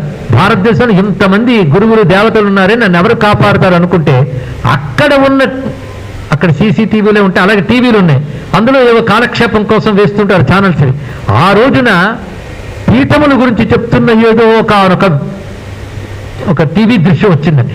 ఆ దృశ్యంలో భారతీయ తీర్థం వారు కనబడ్డారు. ఈయనే నా గురువుని మనసు కనిపించి మా ఆయన జీవించాలని నమస్కరించుకుంది. ఆశ్చర్యకరంగా ఆయన బ్రతికాడండి. అప్పటి నుంచి ఈయనకి అంకితమైంది అంటే భారతీయ చిత్రంలో ఎక్కడున్నా అనుగ్రహించగలిగిన శక్తి ఉన్నది. ఆయన ఒక ఆయనే చెప్తారు ఒకచోట గురువు అంటే దగ్గర ఉంటేనని కాదయ్యా. ఎక్కడ స్మరిస్తే అక్కడే అనుగ్రహిస్తానని ఆయనే అభయం ఇచ్చారు. అలాంటి భక్తులకు ఎన్నెన్నో అనుభవాలు ఉన్నాయి. ఒక ఆయన వాళ్ళ నాన్న తండ్రుల కాలంలో శివలింగ పూజ చేసేవారు. సరే తండ్రి వెళ్ళిపోయాడు. ఆ శివలింగం మరి కనబడలేదు. కొన్నాళ్ళ తర్వాత ఆ పిల్లవాడికి నాకు లింగార్చన చేసుకుంటే బాగుంది అనిపించింది పీఠానికి వెళ్ళారు మనస్సులో కోరుకుందంతే నమస్కారం చేసుకున్నారు గురువుగారికి నా పుట్టినరోజు అండి వచ్చాను ఆశీర్వచనం కోసం వచ్చానంటే ఇలా పిలిచి చేతులు ఒకటి పెట్టాట చూస్తే శివలింగం. మనసులోని గమనించారా ఇలాంటివి ఎన్ని చెప్పుకోవాలో వారి యొక్క జీవితంలో ఒక మాట అన్నారు. అద్భుతమైన మాట. ఒక వేరే సంప్రదాయానికి చెందిన ఒక పీఠాధిపతి. వాళ్ళ అద్వైతానికి విరోధులు. అయినప్పటికీ సనాతన ధర్మంలో అందరూ ఒకటైన భావం కలిగిన పీఠాధిపతి ప్రస్తుతం ఉన్న ఆయన. ఆయన వచ్చి మీరు మా పీఠానికి రావాలని ఆహ్వానించట ఆయన చెప్పిన మాట ఏమిటో తెలుసా? ఎంత సున్నితంగానో మీ పీఠం పిలిచారు చాలా సంతోషం. కానీ మీ పీఠంలో మీరు చదివే గ్రంథములు మా అద్వైతానికి విరుద్ధం. అందులో మొదటి శ్లోకాల్లో ఆదిశంకరుల్ని నిందించారు. నా గురువుని నిందించే చోటుకి నేను రాను అన్నారు. ఎంత గొప్ప విషయం. ఎంత నేర్చుకోవాలి అక్కడి నుంచి? అద్భుతమైన విషయం లేక. అలా వారి ప్రతి కదలిక ఒక ఉపదేశం. వారి మహిమలు చెప్తేనే గ్రంథం అవుతుంది. వారి మాటలు ఉపదేశాలు ఒక్క ప్రతి మాట మనల్ని ఆలోచింపజేస్తాయి. ఎందుకంటే అవి శాస్త్రాధ్యయనం వల్ల మాత్రమే వచ్చినవి కావు. తపశ్శక్తి వల్ల వచ్చినవి. తానే శంకరుడు కనుక వచ్చినది ఇక్కడ. తానే శంకరులు కాగలిగిన తపశ్శక్తి వారికి ఉన్నది. పుట్టుకతోనే ప్రాప్తించిన శంకర విభూతి ఒకటి ఉంది కనుకనే భారతీయ తీర్థస్వామి వారి వాళ్ళ గురించి మాట్లాడేటప్పుడు వారు శంకరుల అవతారం తప్ప వాళ్ళు పుట్టి తర్వాత శాస్త్రం వల్ల తపస్సు వల్ల పీఠాధిపతులే రానకూడదు. వాళ్ళ అవతారమూర్తులు కృష్ణ పరమాం పరమాత్మ సాందీపుని వద్దకు వెళ్ళినట్లే రాముడు వశిష్ఠుని వద్దకు వెళ్ళినట్లే వాళ్ళు గురువులను ఆశ్రయించారంతే. కానీ సహజ ఆచార్యులు వారందరూ. అంటే సహజాచార్యులే అలాంటి వాళ్ళు గుర్తించగలరు. దాని దృష్టి వేరు. మన దృష్టి వేరు. అందుకే వారికే బాధ్యత అప్పచెప్పిస్తారు ఎవరైనా సరే. అందుకు వారి దృష్టిలో గమనించి వీరు యోగ్యుడు నిర్ణయించి ఉత్తరాధికారిగా పెట్టినటువంటి వారే విజయశేఖర భారతి మహాస్వామి వారు విజయశేఖర భారతి మహాస్వామి వారు కనుక మనం విజయశేఖర భారతి ఆయనకు మనం నమస్కారం చేసుకుంటున్నాం. మీరు శ్రీ భారతీ తీర్థ మహాస్వామి కరకమల సంజాతులు. ఇదండి మన గురు పరంపర. ఇది ఆదిశంకరుల చరిత్ర. ఆదిశంకరులు ప్రతిష్ఠించిన చిత్రామ్నాయం పీఠముల చరిత్ర. ఆ పీఠముల్లో ప్రధానమైనది ప్రథమమైనది ఆయన శృంగేరి పీఠ యొక్క చరిత్ర చెప్పుకున్నాం. ప్రస్తుతం వరకు ఉన్న గురు పరంపర అంతటి మనం స్మరించుకున్నాం ఆ గురు పరంపర అనుగ్రహించుగాక. ఒక్కటి. మీరు గంగానదికి వెళ్ళారు కదా ఈ మధ్య? రెండేళ్ళ క్రితం ఉన్న గంగ నీరు పళ్ళక్కడ లేదు. మూడేళ్ళ క్రితం ఉన్న నీరు అక్కడ లేదు. కానీ మీరు గంగ నీరే అంటారు కదా. కానీ పదేళ్ళ క్రితం ఉన్న గంగ నీరు అక్కడ లేకపోయినా ప్రవహించేది గంగే. కనుకనే ఇదివరకు ఆచార్యులు ఇప్పుడు లేకపోయినా ప్రవహించేదంతా ఆదిశంకరులే. ఇది తెలుసుకోండి ఇక్కడ.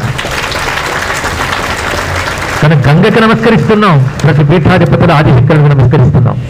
మన భాగ్యవశాత్తు కాపు కాస్తూ మనల్ని మహాసన్నిధానం వారు సన్నిధానం వారు మనల్ని అనుగ్రహిస్తున్నారు ఇక్కడ. మనం స్మరిస్తేనే ధన్యులమవుతాం. ఎందుకంటే వాళ్ళ ఆదిశంకర విభూతులు రెండు రూపాలతో ఇప్పుడు ఉభయ గురువులుగా అక్కడ మనల్ని అనుగ్రహిస్తున్నాయి. వారి స్మరణతో మనం ధన్యమవుతున్నాయి ఇవాళ. వారి కృప అపారంగా అవ్యాజంగా ఉంది కనుక ఎందుకంటే అర్హత ఇక్కడేం లేదు. వారి కరుణకు అవ్యాజమైన లక్షణం ఉంది కనుక వారి అవ్యాజ కారుణ్యం ఉండడం ఉండడం వల్లనే అల్పజ్ఞుడి చేత కూడా వాళ్ళు మాట్లాడించి ఆదేశించి ఇక్కడ కూర్చోబెట్టి పలికించారండి. మరొకటేమీ లేదు. అందుకే వారి యొక్క ఆశీర్వచనం చేత ఈ అహం బ్రహ్మాస్మి సంస్థ వారికి నన్ను పెరవాలని బుద్ధి పుట్టింది. ఇక్కడ కూర్చుని నాకేదో తెలుసని చెప్పలేదు. శృంగేరిని ఆదిశంకరుణ్ణి పీఠ పరంపరని మా గురువుల్ని నోరార చెప్పి నమస్కరించుకోవచ్చని స్వార్థంతో నేను వరకు మాట్లాడాను. సాధారణంగా వాచి చూసుకు మాట్లాడే నేను ఇవాళ దాన్ని కూడా పక్కకు పెట్టి మాట్లాడాను. సర్వం జగద్గురు చరణార విందాత్మనమస్తు స్వస్తి. అద్భుతమైన ఈ వాంఛరిలో అందరూ కలిసి ముద్దయ్యారని అనుకుంటూ అహం బ్రహ్మాస్మి దక్షిణామ్మ శృంగేరి చంద్రపీఠ అనుబంధ సంస్థ తరఫున గురువు గారికి